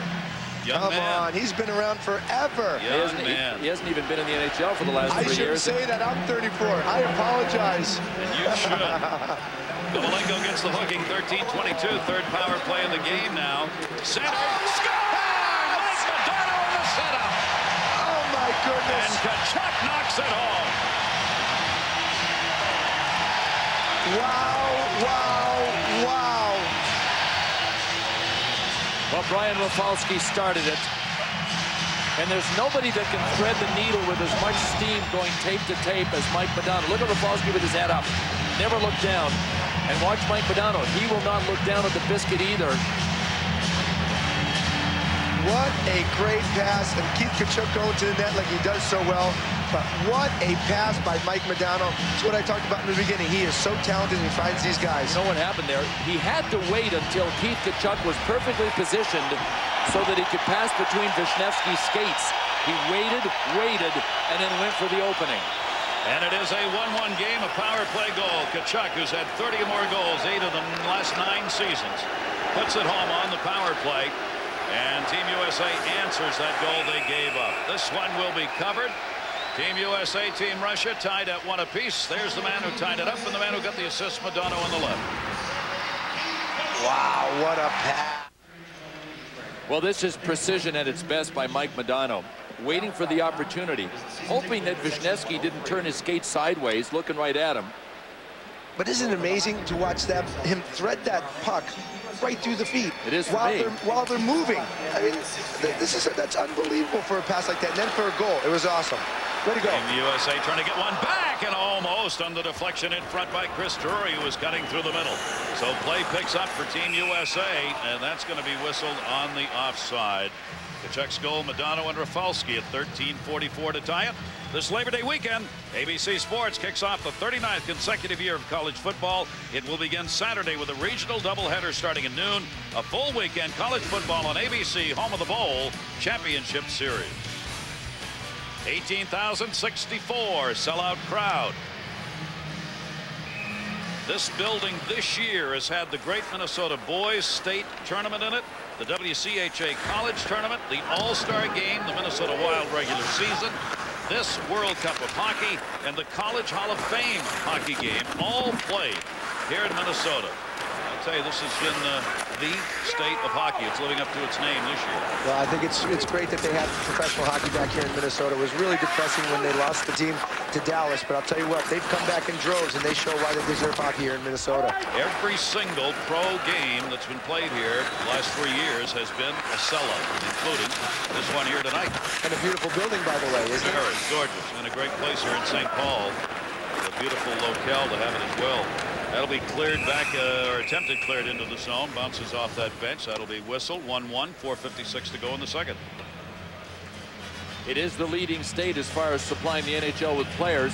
Of the 160 American-born players in the NHL, 28, most of any state, were born in Minnesota. But how many guys on the U.S. team are from Massachusetts? Massachusetts dominates in terms of how many guys are on this USA team. Way to go, Massachusetts. How many? I don't know, more. Oh, you're one of those. You thought I was going to let you off the hook. You did. You know what? There's, there's seven of them. Here's here's Chris Drury from Connecticut. I'll tell you the That's college. New England. I'm going to count that. 21 of 26 players for Team USA on their roster came through U.S. colleges or universities. Steve Konowalchuk is one of the five that didn't. Chris Drury did. As a matter of fact, the, the number one school that put players on this team was BU. And they have four players, including Chris Drury pretty spread out. Uh, and credit to the college program of what it has produced for professional hockey here in the United States. Intercepted shot, and the wrister just went wide by Frolov. Yeah, how about Chris Drury? You're coming off the Little League World Series. He won the Little League World Series as a pitcher when he was a kid. And never hears the end of it. Frolov doesn't want to, for that matter. It's uh, still one of his shining moments. Look at Leetch put the heat on, or at least try. Leetch was trying to gather that puck in and could not get it away. Point chance save. Gonchar redirected again a Team USA player in front. That time Scott Gomez hit it. How, how, does this guy come out of this? He's got two guys on him. These Russians are so strong on their feet. They just find a way to get in here. Two Leetchy's got a good good hold on the Afinogenov. He stays up, stays up. Three guys get knocked into each other. He comes out and a great scoring chance with some action in front. But as she gets, oh, oh, another in front. Chelios trying to clear it, could not. Bouncing puck. Tkachuk gets it out of there. You will not see Ilya Kovalchuk of the Atlanta Thrashers miss those very often. He had a point blanker. The only thing that helped Robert Esche is the puck was rolling. Team USA gets a chance at the other end. Hull, chance, save, rebound. Modano couldn't quite get there. Mike Modano was just about a half a stick length away from putting Team USA on top. Again, the intercepted center. A lot of those have been turned over by Team USA right through the top of the crease. Kovalchuk playing a heck of a game. Back into the middle, goes by everybody. Vishnevski will have to chase it down. I really don't think there is a, a player in the National Hockey League right now that is more exciting to watch than Ilya Kovalchuk. I know being playing against him every time he comes on the ice, we are scared to death. He's the only guy to go coast to coast twice and beat everybody on the ice. That is, he has tremendous stamina to go with that speed he will take those extra shifts. Konowalchuk moved it in. Let's bounce back in behind the net. Again, Team USA looking at that middle. Connor Konowalchuk came all the way around. Broken stick out there on the ice. The puck was able to move around it, though. And this is moved back out to the center. Weinrich went back to get it.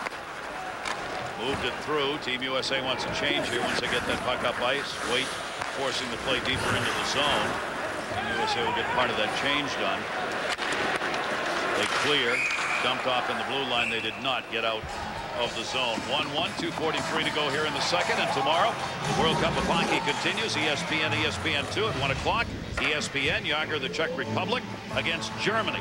At 7 Eastern, ESPN2, U.S. back on the ice. Peter Bondra, Slovakia, the opponent. That's all coming up.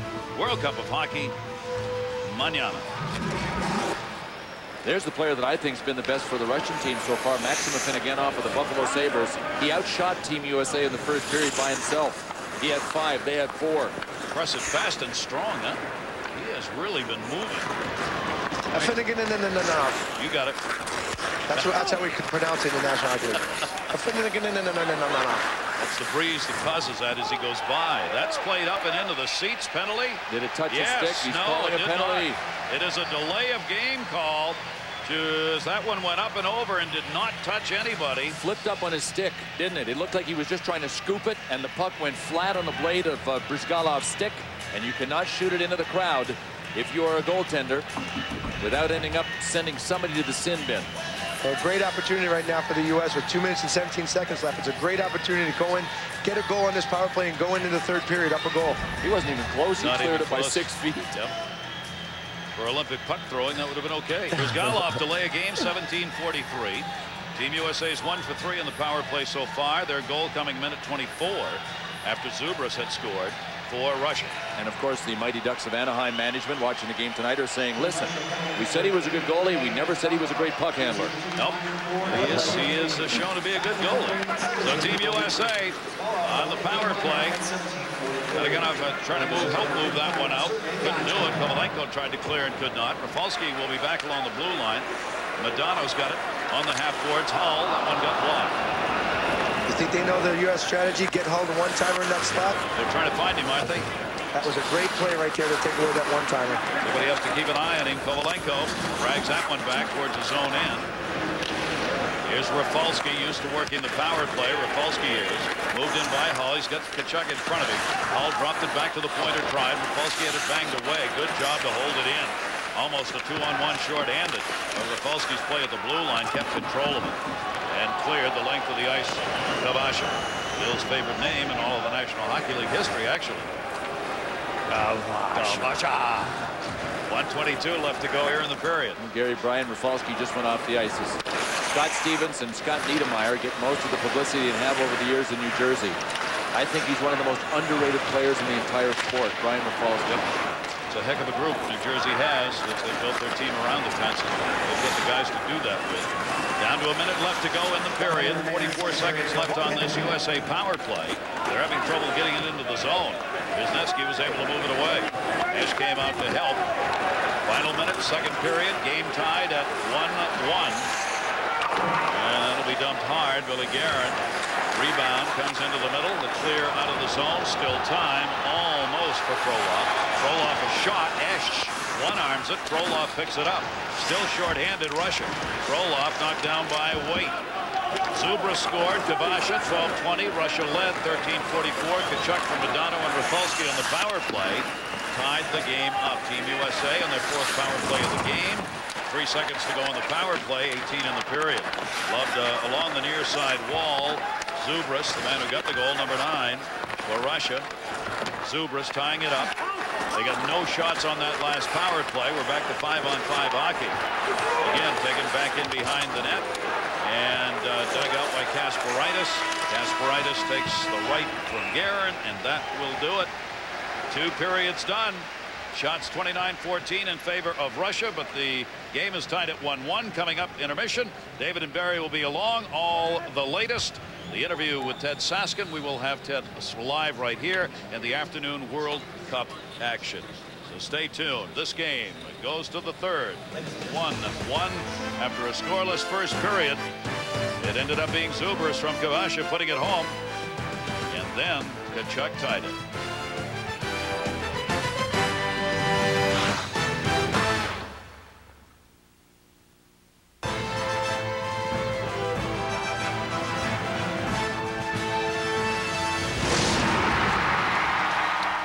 Back to the ESPN studios. Barry Melrose and David Amber. 1-1 game through 40 minutes in St. Paul, and maybe, maybe would have been 1-0 yes. U.S. if it wasn't for Chris Chelios' size 12 skates. As promised, Gary Thorne is standing by with Ted Saskin, the NHLPA's executive director. Thanks very much. Ted Saskin joining us, and we sincerely appreciate your doing this because we know it's been a, a, uh, long couple of weeks and past three days. Well, it's been a long uh, couple of years, I guess, Gary. Ted, let's start right at the top. What do you want out of this negotiation to make it go? We want to get a fair deal for both sides. The players want to play hockey this year and are very committed to getting a fair deal for both sides. That's what we want. What's bogging this down? Is it this term salary cap that's doing it? Well, it's absolutely. The league's insistence on a salary cap, they've made that the threshold issue. They know that's something we're not prepared to negotiate. The players have already made it clear. We put together a proposal that represented very significant concessions. It addressed all of the stated concerns of the owner, spending activities of some of the teams. It addressed revenue sharing needs of certain teams, changes to the entry level, and an overall adjustment on salary. It represented hundreds of millions of dollars in concessions. The response to that we got, a one-page salary cap offer, and more recently, six concepts that are six different ways of dividing a salary cap. And that remains the one problem. Now, Bill Daly said to us in the first intermission, the revenue sharing is something they are willing to discuss and negotiate and have done. Is there a way to come up with, let's call it cost certainty as the commissioner does, something other than salary cap through that kind of a revenue sharing plan that might work? Well, a revenue sharing coupled with a luxury tax has certainly proven to be very effective in baseball, and that's part of the framework we've been talking about with them. We're prepared to take additional drag on salaries in that type of system and raise enough revenues to assist some of the teams that need it because the NHL right now has the least amount of revenue sharing, and we think it's an important component. And the players are willing to have luxury taxes that do have a negative impact on salaries. The only thing the players are not prepared to negotiate is a salary cap, yet Gary Bettman has made that the key issue in these negotiations. Now, let me ask you this. Over the last three days, apparently a lot of paper looking. You went through a lot of books and records, whatever. Are you satisfied you're getting numbers that you can believe now from the owners as to what the money situation is? Well, the last few days has really been looking more at the business and management practices of the clubs. The numbers, we know where we agree, we know where we disagree. It really comes down to how you define the hockey business. We think you have to define it like the owners define it. They look at their buildings, they look at their cable stations, they look at their team, they look at it as an integrated entity. The NHL tries to parse that into different segments, and that's not the way an owner looks at his business. It's not the way we are going to look at the business. Is there any chance of getting this thing done for the season to start on time, in your opinion? Well, certainly, as soon as they get off the cap, we can get a deal done because the players are committed to getting a deal that's fair for both sides, and we'll do everything we can to get that done. After the last three days meetings, are you ready to come forward with another proposal to take to the league for the next meeting in Toronto next week? Uh, I don't know the exact timing, but there will be another proposal that'll come forward from the players. It's going to be responsive to issues we've been identifying in the last few weeks, but it's not going to be a framework that includes a salary cap. It'll address all their concerns, but if Gary Bettman remains determined to get a cap, unfortunately, he's going to be proceeding with his lockout. If I find another name to use in place of salary cap, might we be able to get, the, get this thing done? I wish it were that simple, Gary. I wish it were, but uh, hasn't been that simple yet. All right, I told Bill we'd offer you the studio here. You can come in and sit down, the two of you. We'll lock the door, and you stay right here. Until you get the deal done, we won't let you out. We will bring coffee and hot dogs. How about it? Well, uh, we're committed to doing everything we can. All they have to do is get off the cap, and we'll uh, we'll get some progress in All these right. in these talks. That's Thanks. Look, I know it's been a tough week for you. I really appreciate you coming on and doing this, and uh, and I really mean good luck. Thanks very much, and thanks for your support of the World Cup. Great event. Good to have you here. Thank you very much. Let's go back to Dave and Barry. All right, Gary trying to work as the mediator there, but Did a good neither side, neither side really wanting to bite to go in there. What struck you about what Ted Saskin had to say? Well, Ted didn't answer yes or no to the question Gary said about the revenues. And the bottom line is the players do not believe the numbers that the owners are, are saying, uh, the money they make. That's the whole crux of the problem from the Player Association. They feel the owners aren't reporting the revenues properly. And until that happens, uh, we're going to have an imp- impasse. The players don't believe uh, the numbers. The owners say the numbers are right. The owners say they've lost 300 million. The players say that's not true. So until uh, that we get some trust in this negotiations, until uh, these two sides become an, as one and, and negotiate properly, uh, it doesn't look like we're going to have a season. Well, we really hope this isn't the last hockey we're going to see in a while. For sure. But if it is, it's great hockey. That period was. 1-1. That period was. Russia, U.S. through 40 minutes in St. Paul, Minnesota. More from the World Cup of Hockey rolling your way next. Earlier today, it was Finland and Germany from Cologne, Germany, and the Finns looking great early on, Barry. Well, the Finns aren't spectacular talented offensively like the Swedes, but they're very solid both ends of the rink. That's a Swedish-type player, can play offense and defense. The Germans played much better today. They had some chances. They had a five-on-three for two minutes, but Kiprusoff was just too strong. Now watch Selanne here, power play for uh, Finland. That is what that guy gives a team. He's not a great defensive player, but when he gets a puck in open ice and he can shoot it like that, it's going into the net. And then Jere Lehtinen doing it in style. Oh, my goodness, that's stronger than a lot of wrist shots. I haven't seen a backhand like that for 20 years, man. Up over the glove, Kolzig just didn't have a chance. And that was your game. Kiprusoff back-to-back shutouts. Finland wins 3-0. Finland a perfect 2-0. And more good news for them. Seven different players have scored so far in this tournament for the Finns. Typical Finnish effort. Everybody contributes offensively, everybody contributes defensively. The Swedes have been very impressive. The Finns have been very impressive. The Czechs were impressive for one period. Obviously, everyone wants to play Germany in the first round. Canada, Russia looked very good. I've been impressed with them for two periods. The United States showed some heart in that second period. U.S. showed heart, but will the U.S. be rewarded with a win today? That is the question. And we get ready for period three. Russia and the United States tied at one, almost ready to drop the puck on a third period from St. Paul, Minnesota. Keep it locked right here. E ESPN 2, third period action coming your way.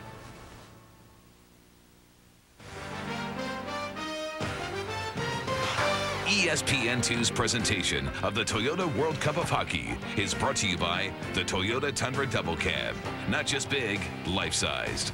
And Samuel Adams. When you're ready for a distinctive brew, Samuel Adams. Always a good decision.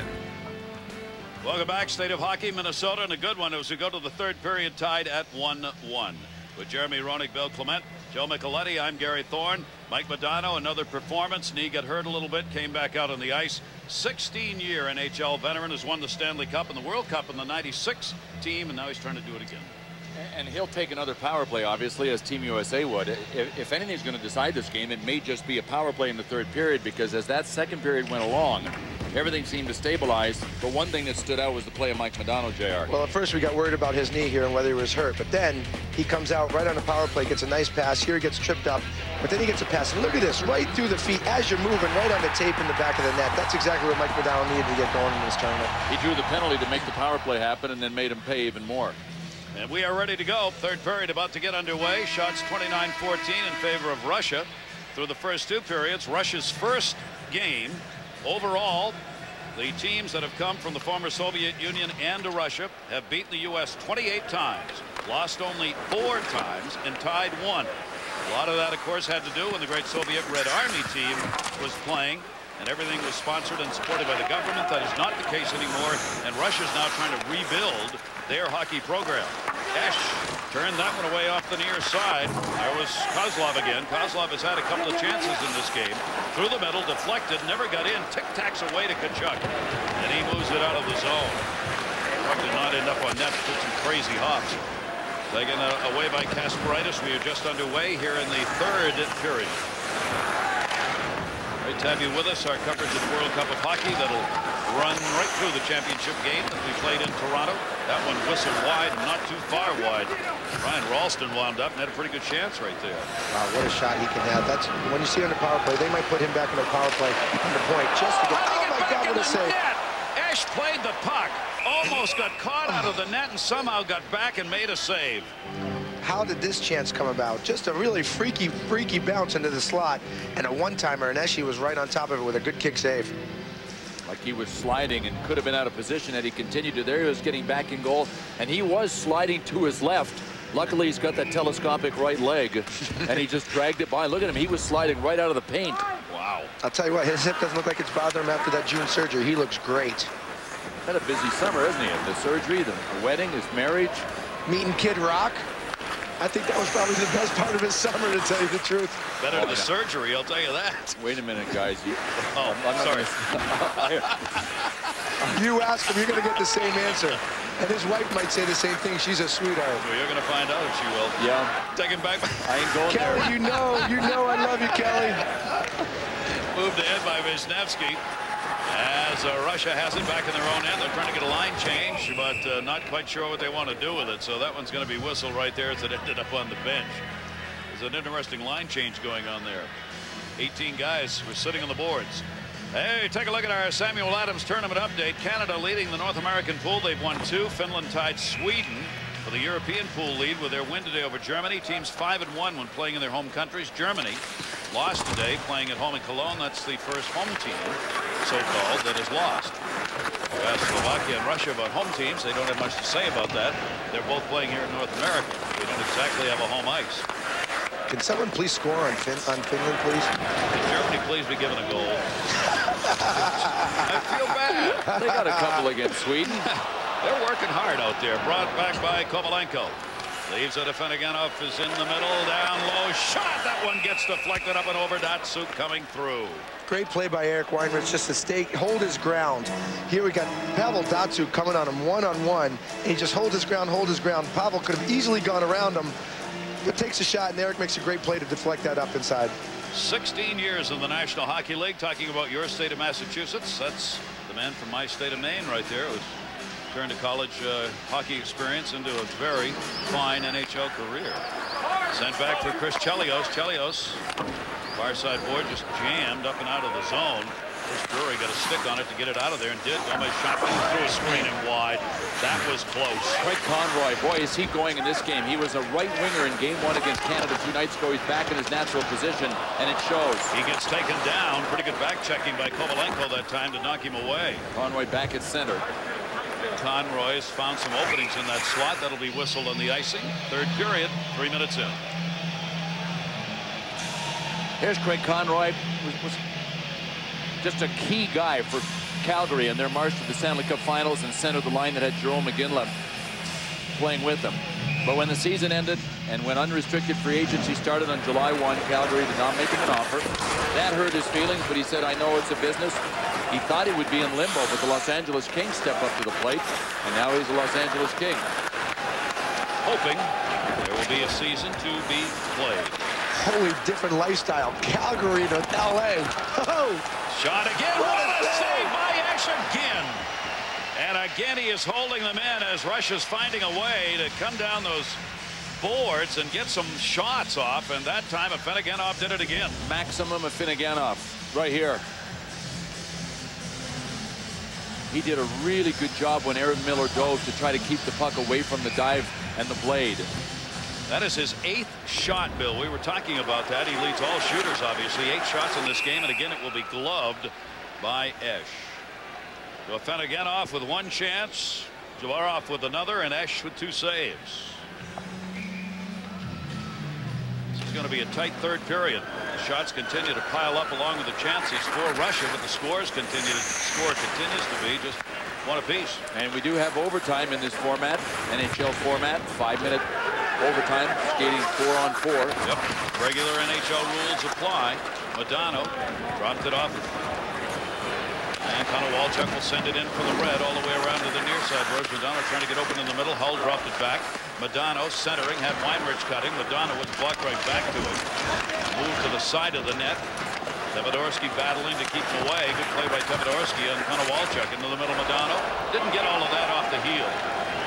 It was dropped off by Bryzgalov, the goaltender. Weinrich back again looking. Rafalski's open. Russia was changing, but it's a two-line pass. Want to remind you, Saturday night, Labor Day weekend college football, presented by Rust-Oleum, Epoxy Shield. It brings you the defending co-champion LSU Tigers against Oregon State, 6 Eastern ESPN. At 6 on ESPN 2, Sylvester Croom becomes the first black coach in SEC history. Mississippi State and Tulane, all coming up this weekend. Hard to believe we are at the end of the summer weekend, even though there may be a lot of summer to go in places. And those of you in Florida, thinking of you, and hope that uh, this latest hurricane stays out to sea, as unlikely as that may be. Tony Amonte brought it back in, got dropped off looking for Blake in the middle. Pass deflected by Volchenkov into the corner, taken by Weight. Weight's got Volchenkov in the midsection with his stick that time. Good job to keep it alive. Blake turns it back in behind the net, waits out in front. Amonte takes the bump, controls the puck. Again, cycling, but it's in the corner. Russia will let him do that all night. Now Amonte gets to the front of the net. The D's joining the cycling flow. That's Chelios. Chelios got him away from Samsonov. Chelios stays down low, now backs up. Blake behind the net, pinned up. Good work. Kozlov taking away Chelios again. Look out. Team USA's tired. Needs some legs out there. Three on two. They get it back into the middle. Down the middle. The centering pass. Score! what a you move by Kovalev! Kidding gracious. me. Team USA was out of gas, and Kovalev knew it. You know what? I'm going to kick myself in the butt again because just before I said we haven't seen Alexei Kovalev at all this game. Have you seen him, Bill? I haven't seen We him. have now. And I should have said it because look at this goal. I can't believe it. You can't turn a, you can't turn someone inside out like that and then even from the goal line put it on the top shelf. That's not right. Oh my goodness, what a goal. You people at home have no idea how unbelievable talent that just took to make that goal. Wow. A two to one lead. Kovalev gets it done, oh. and the Russian fans up there he is. He played with the Islanders and Montreal this past season had only 14 goals combined. Kovalev put it home, and that'll be touched up on the icing call, and Russia's back on top by a score of two to one. But the one thing we know about Alexei Kovalev is that he has the brilliance. You just don't know when it's going to show itself. Unfortunately, Tony that Amonte has been back on defense trying to cover for Chris Chelios, who had been caught up, and Alexei Kovalev. And when you're coming down as a forward, you take a peek, and if it's a forward that's back there, you're going to try him on. That's what Kovalev did to Tony Amonte.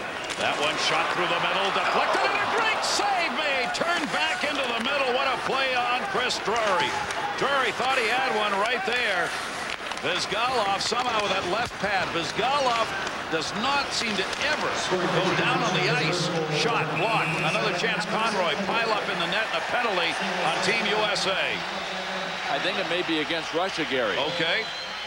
Yeah, it's Russia for holding in front of the net. It's holding. I thought we might have had a goaltender interference, but not so. Chris Drury was down, and Alexei Yashin was the guy that was holding him down. Yashin of the New York Islanders, who's wearing the C. He is Russia's captain here for the tournament. We have not mentioned, guys, that this Russian team is having to do this with lots of political problems that resulted in Nikolai Khabibulin, Evgeny Nabokov, Sergei Fedorov, Zhamnov, and Zhitnik not playing. The list of players who, for different reasons, decided not to come is probably as large as the list of guys that decided to, to come. That uh, says something about where this Russian program is, that they can miss those kind of stars and still be playing this well. Well, but at the same time, Gary, how about this? The Russian program, and there's uh, Zinetula Bilyaletdinov. They didn't even invite Alexander Mogilny, Sergei Brylin, Slava Kozlov, Andrei Nikolishin, Igor Ulanov, Sergei Zubov. Didn't even invite them. Team USA gets a chance on the power play. This is their fifth power play. Yashin holding at 536. Team USA's goal came off a power play and almost got another one. Rafalski charging. Able to hold it in. Mike Modano, a shot save made again. Modano's Rob. Bryzgalov again. Standing up, not going down, not giving anything to shoot at. Moved back in by Kovalenko. He gets taken down along the near side boards. Rafalski trying to dig it out. A fine play by Kovalenko to keep that puck moving. And Modano will bring it in. Leetch ahead of him. Modano kept it on side somehow. Tkachuk behind the net. Tkachuk, Hull, Modano. Devorski got the puck. Falling down Hull on the near side, so there was nobody there to hold that puck in. Short-handed Russia. Another minute, four seconds on the power play. Russia changing. Gets fanned on the far side, but controlled by Chabarov. Back to him in the corner. Modano poke checks it away off the wall. Team USA will give it to Leetch and start up ice.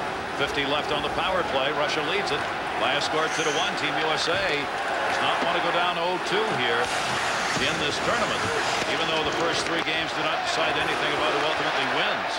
That was centered into the middle and just got deflected wide. Liles dumped it, hoping someone could redirect. And Walchuk gets back up to get it. Moves it back out onto the point, goes to the front of the net. Konowalchuk's the man who's out in front.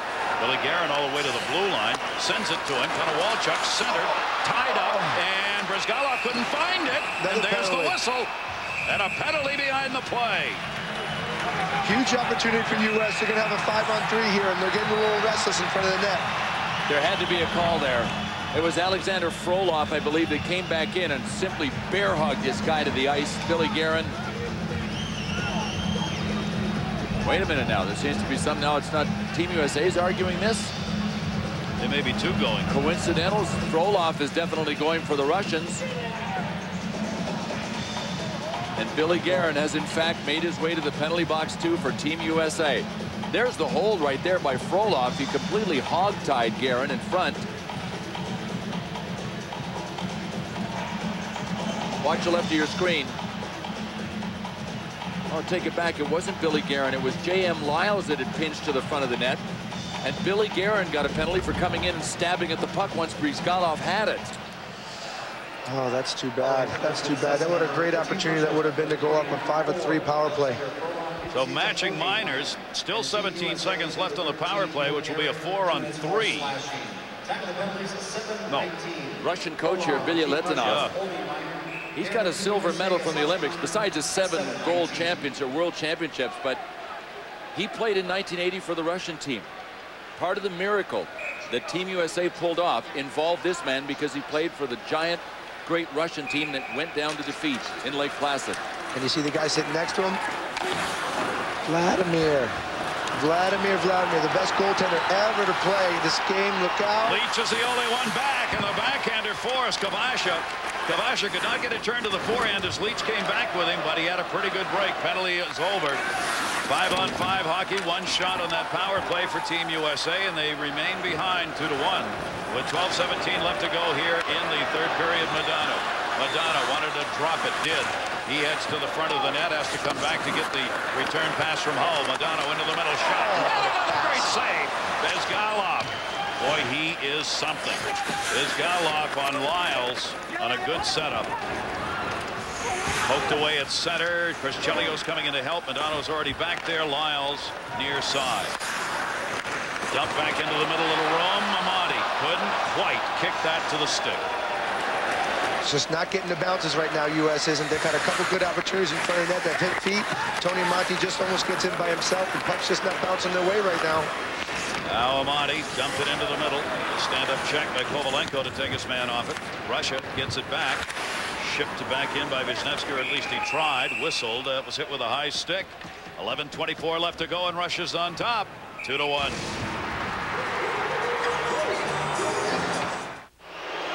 Right about now, the guys on Team USA's bench are saying who's going to be a hero. There is Chris Drury. If you're looking for a big game player, Team USA has a number of them, and Chris Drury is absolutely in that category. Watch out for him here with 11.24 to go in the third.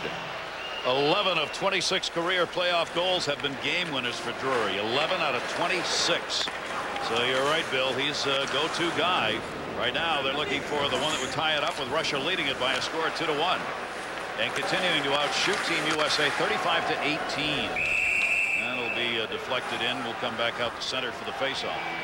Well, certainly in this game, Russia's answered some questions about how good they are and can they can are they still up there at that competitive level on the international scene? You know we talked about the guys that aren't here. Some of the younger guys including Kovalchuk said you know what? Basically to hell with them. The guys that don't want to be here stay away.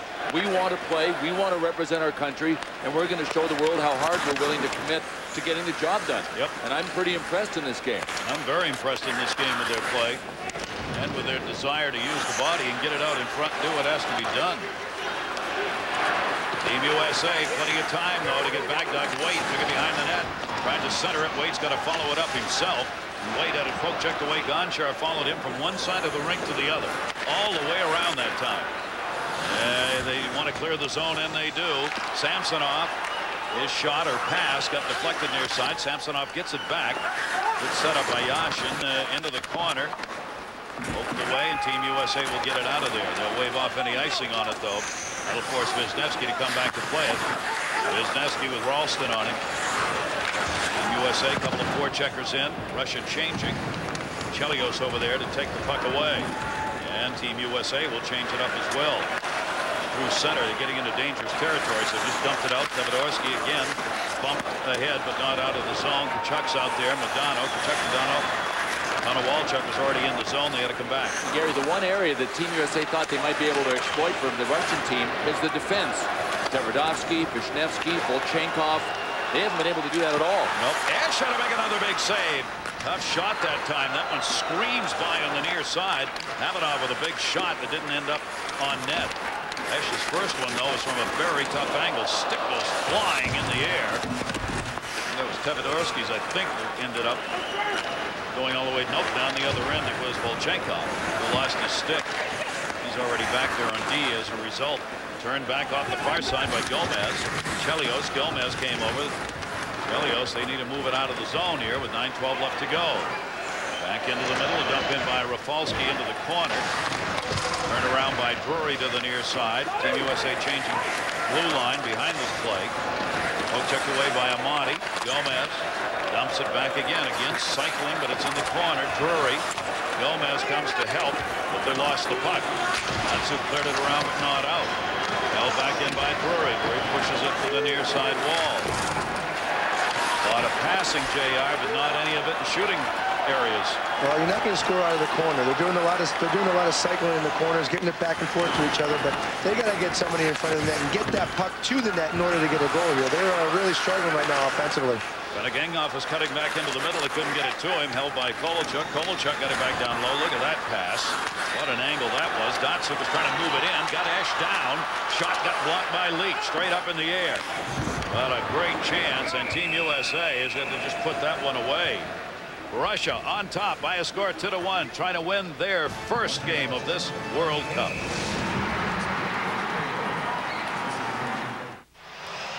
Well, just by about a two to one ratio all across the board, including the score. Team Russia ahead of the United States, including in shots, almost a two to one ratio in scoring chances. One for five. The U.S. has gone on the power play, but the score here is two to one. So the scoreboard just about mirrors all of the major numbers underneath the score. It does do that. With Zubrus having put him ahead in the first, Tkachuk tied it on the power play goal, and now Kovalev at 5.05 from Khavanov has put Russia back on top two to one here in the third period with time running out. Esche got caught. Uh, uh, rather, Bryzgalov got caught. Was able to move it out of there. Bryzgalov's not wandered very much here in this game. He stayed pretty much in place. Rob moved it back into the zone. Team USA with Weight's line out there now. That's related to the puck handling. Yes. If you don't handle the puck very well, what's the point of going and forcing yourself to do it? And the way he makes saves and keeps his balance, why why do that anyway? Leg weight wound up, took that shot, but got blocked to the near side wall. But again, off has been spectacular. Battling along the boards, number 61 out there. He's going to get a little help from Gonchar. All the mucking that goes on is in Russia's favor now with that clock running. Anything to keep the play at an uneven flow works for them. You don't want it all in their zone, however. Team USA changing it up behind the play. Hull was cutting to the net. Drop past the weight, got blocked, moved back to center. Could be a two-on-one. Not quite. Gonchar trying to get there, and Chelios beat him. Chelios still in behind the net. Moving in, uh, Datsuk. Datsyuk, uh, Samsonov, brother, looking for room. Samsonov had it lost it to Modano. And Modano's blind pass off the near side wall. Gathered up on a wall check. He had it bounced away. Look out here. Puck will move in. One back on D. Samsonov. That one goes wide. Got the glove down. Esche had the shoulder up on it. Shot. Another save. Esche. Rebound. Put back into the middle. High slot area. Russia gets the passing. That was Samsonov in front. Couldn't redirect it. They've done this about a half dozen times in this game where they get going and they just start flying. Kozlov left it in the corner. Modano took it away. Here's how They need a change. He sends it in. 6.19 left to go. No matter what happens in this game, I'm impressed at Russia's play. Likewise. And, you know, we've talked about Team USA getting the puck in deep like they've got it now, but not being able to pull it off the wall. A great degree of credit belongs to the defenseman for the Russian team, not letting him bring it. That shot deflected to the near side and turned right back out of there. Frolov is just looking into the middle. Rafalski put the hit on. Play by Brian Rafalski. Rafalski the intercept. Oh, look out here. Two on one loss. Rafalski, Yashin. He took that hit, got back up, stole the puck, and had a two on one chance broken up. I think Rafalski just really, I think he just uh, benefited from the New Jersey Devils system right there. He didn't go offense, he stayed defense, and luckily he did, or else it would have been a breakaway. Wow. It's going to have to be played. Uh, Esche dumped it off the near side, almost not hard enough to get it around uh, Frolov. Still back into the zone. What a job right now Russia's doing as they have Team USA just going in the wrong direction. There's still what, time. I'll tell you what, the fans are starting to get restless, too. They're starting to really get uh, aggravated at what's going on and how well Russia's just dominating this third period. To their credit, Kovalchuk was up there that time, uh, forcing it. That's Weight sending it back in behind the net. as Bryzgalov holds it up again. Cleared around uh, to the far side point. Good hard wrapper on that time by Kasparaitis. And Russia looking for another chance here. Down, uh, Kovalenko was looking in the middle, didn't have anybody. Into the corner, got knocked down, and a penalty coming on Team USA with 4.46 to go. I. That's Tkachuk. Power play coming up, and so are the goals. We'll show them to you when we come back. Team Russia about to go on the power play in an attempt to add to their 2 to 1 lead. Second period is when the scoring started. Dainius Zubrus off the skate of Chris Chelios made it 1 to nothing. Mike Modano's brilliance on a pass to Keith Tkachuk tied it. And in the third period, the Alexei Kovalev show. 2 to 1 Russia right now. And this is the third power play that Russia's had in this game. Gonchar will bounce that one off the boards. They'll start up as Tkachuk went for boarding at 15-14. Third power play of the game for Russia. And they could get a put-away goal right here. Shot, Esche deflected in front of him. May have gone through. That was close. Kozlov was setting the screen. Kozlov, number 25, got right in front. That's Kozlov with the puck. Drops it back up onto the point. Near side, Kovalev's playing a point. He's got the goal. Forward out there. Gonchar's the defenseman back on the blue. There's Kovalev. And a lot of room. Kovalev, a wrist. Oh, caught him up in the mask. shot.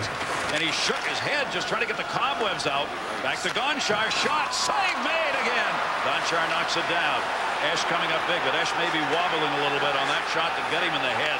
Kovalev looking down low, trying to go all the way across uh, for Samsonov. Back up Gonchar. Gonchar, Lloyd in the blue line. Samsonov in, and a penalty coming. And I, am not sure Chris Chelios is going to be part of this, but I do know Kovalchuk is going to go. No, it's Kovalchuk by himself. A little bit of interference. Stood right in front of Chris Chelios. Didn't let him see the player get to get to the puck carrier. And when you do that, you're going to get called on every time, especially 2-1 late in the game. Chelios is either accompanying Kovalchuk to the penalty box, or he's gone too. Yikes. Little stick to the ribs. I'll tell you what, not, not too many people shoot the puck like Alexei Kovalev. And I've seen him take that shot numerous, numerous times and hit that upper left-hand corner. And I'll tell you what, that hurt Esche going off the shoulder. Well, what a finish we've got if this doesn't change. Because uh, 53 seconds remaining on the Team USA penalty. 3.36 left to go in the game. So cross-checking calls on Chelios and Kovalchuk. They do both get penalties. So the power play continues with 38 seconds left on it for Russia. Back in their own end here as they look with Khavanov playing one of the points now. Up comes Modano. Team USA is going to put heat on to try and get it back. Off the wall, Frolov. Frolov impressive. Backhander, save and he will cover. Their transition is just absolutely amazing. The way that they get the puck from the back of the goal line, one pass, two passes, and a good scoring chance on the other end within a five-second span. It's incredible the way these guys get up and down the ice. This team is really performing. Frolov is one of the players wasn't even supposed to be here. Uh, number 24 we've been watching played for Los Angeles this past year. 24 goals 24 assists. He was a replacement player. Some of those other names we talked about said no to coming with his team. That's cleared out of the zone. Bryzgalov's got plenty of time to get to it though to Gonchar dropped it back bad pass Doug Weight backhander save again. Man giveaway. Bryzgalov four shots coming off that power play, but it remains a 2-1 lead for Russia. Now Team USA is going to take some chances. Turning, Kvasha left it shot. Oh, what a save. Wide, I don't believe it. Afinogenov again. Came straight down the middle. Had nobody there to block it. Afinogenov has absolutely been flying here in this game. Again, shot, save made by Esche. This time on Juvarov. And Russia's this close to getting what would be probable game clinching goal. Two more chances to put a little daylight between themselves and Team USA for the Russian group. Maxim Afinogenov from the Buffalo Sabres, and that's really the story of Afinogenov. Fantastic wheels, generate scoring opportunities. If he ever had a finishing touch, he'd be a 40 to 50 goal guy in the NHL. Well, he just can't believe it right now. He's had, what, 10 or 11 shots on net. Almost as many as the whole USA team has had all, all night the shots now 44 to 19. He's saying, what do I got to do to get the puck past this kid? 26 scoring chances. That's two. an incredibly high number. Two to one. Shot oh. score! Kozlov gets it, and it's three to one Russia.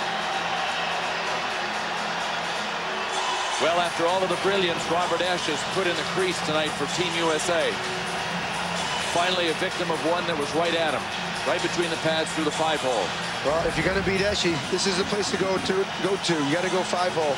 He's, he's got to be feeling tired here with the barrage of shots that he has. And Kozlov makes a great play, looks off the defenseman, and even looked Esche off. And I don't think he even thought it was coming. And with as hard as the guys shoot these days, that thing's in the net before you know it. It really looked like Robert Esche was digging in with the right skate to push over because on the right of your screen you may see it. No, you can't see it. Alexei Kovalev was there, and that's who I agree with you. That's who I think Robert Esche was more worried about than Kozlov. A three to one lead. Bryzgalov blocked that one. A minute 49 left to go. Empty net at the other end. Team USA is leaving it open with just under two minutes to go after that goal. They pulled the goaltender. And now Russia's got a chance to just bar the door if they can find one on the empty net. Empty net, empty net, and Afinogenov might get one now. Yeah. He's earned one here in this game. The goal picked up by Kozlov. Samsonov the assist at 18.02.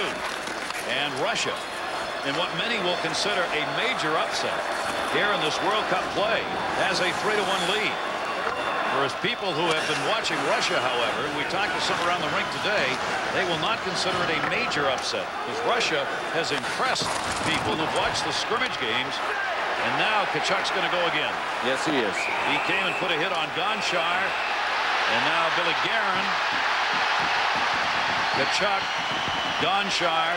And I believe that might, that's Darius Kasparaitis with his jersey being pulled over his head.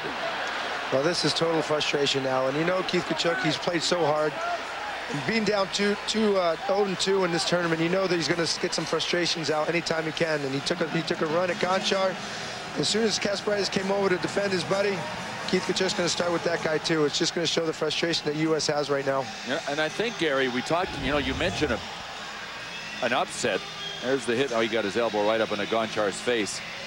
As much as it is an upset for Russia, and as you mentioned, we're not sure that it's that great an upset, it, can, it has to be considered a pretty good setback for Team USA. Absolutely, Bill. I mean, Absolutely. At, some, at some point, they're going to have to beat somebody. Well, they could have the worst of all situations for the North American whole picture could happen. If they end up playing, if U.S. goes 0-3 and Canada wins, Canada plays the U.S. in Canada. And that's the last thing that they wanted to happen because they wanted Canada and U.S. to be in the quarterfinals, one here and one in Canada. Yeah, yeah, yeah, yeah. You don't want that. Don't want that. Not now. Tomorrow, the World Cup of Hockey continues. ESPN, ESPN2 at 1 Eastern. It'll be Jagr, the Czech Republic against Germany. 7 ESPN2. This U.S. team in what looks like it's going to be a real need-to-win game will take on Slovakia. That's 7 on ESPN2 tomorrow night. Our coverage of the World Cup of Hockey continues. And no one will be more upset than the folks here in Minnesota, where the ticket sales and who shows up for that game to be played here as a quarterfinal will depend uh, directly on whether Team USA is involved in that game or not. Team USA doesn't want to play Canada, and they certainly don't want to have to go to Canada to play them. No, but the huge game will be the one tomorrow night against Slovakia. Yes. yes. If U.S. can finish one or two, then none of those problems we're discussing take place. Or even three. Or even as long three. as they avoid Canada. That's right. But this has been, I mean, Esche has played another outstanding game in net for Team USA. That last goal, one he, I'm sure will say, should have been able to stop that. Couldn't do it. But Bryzgalov at the other end has been even better. He hasn't had to make as many or as spectacular the number of saves, but he has been very solid. When he's had to be, you bet he has. 24 years old. I've been impressed with Russia's overall team play. Their defensive play has been fantastic. You see guys coming back, back checking, back checking, all the way back almost into the goal line. It's taken away every offensive opportunity that the U.S. has had tonight. But that's also one of the knocks that, that has been leveled against the Russian team, and accurately so, that they're not glued that tightly together. Great individual talent, don't play as a team. They've played as, as one here. I think that's coming together yes. here in this World Hockey Tournament. Power play underway. Russia's got a chance add another. That one shot or passed uh, through the crease. Only 30 seconds left to go. Five minutes worth of penalties put up on the board against Team USA. Off the fire uh, side, Blake will move it back in. So Russia will come away with a victory here, and uh, we're under 20 seconds now. Keith Tkachuk at five, elbowing, Guerin, minor, roughing, and uh, we may have. There's Blake over there, the Minnesota native on the and far our side. Kasparaitis friend again. Always in the middle. Did I tell you that not too many people like Darius Kasparaitis in the National Hockey League? I think I heard that. I'm showing it again right now. And apparently Blake is one of those. Oh, I think Blakey's five foot five, but he's tough as nails. He wants a piece of him now. A New York Islander and a former New York Islander. Kasparaitis, the former New York Islander. Look at that face. Is that a warrior face or what? My goodness. Blake 55.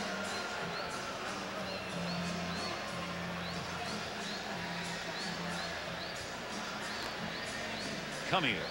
Oh, Kasparaitis got the first good lick in.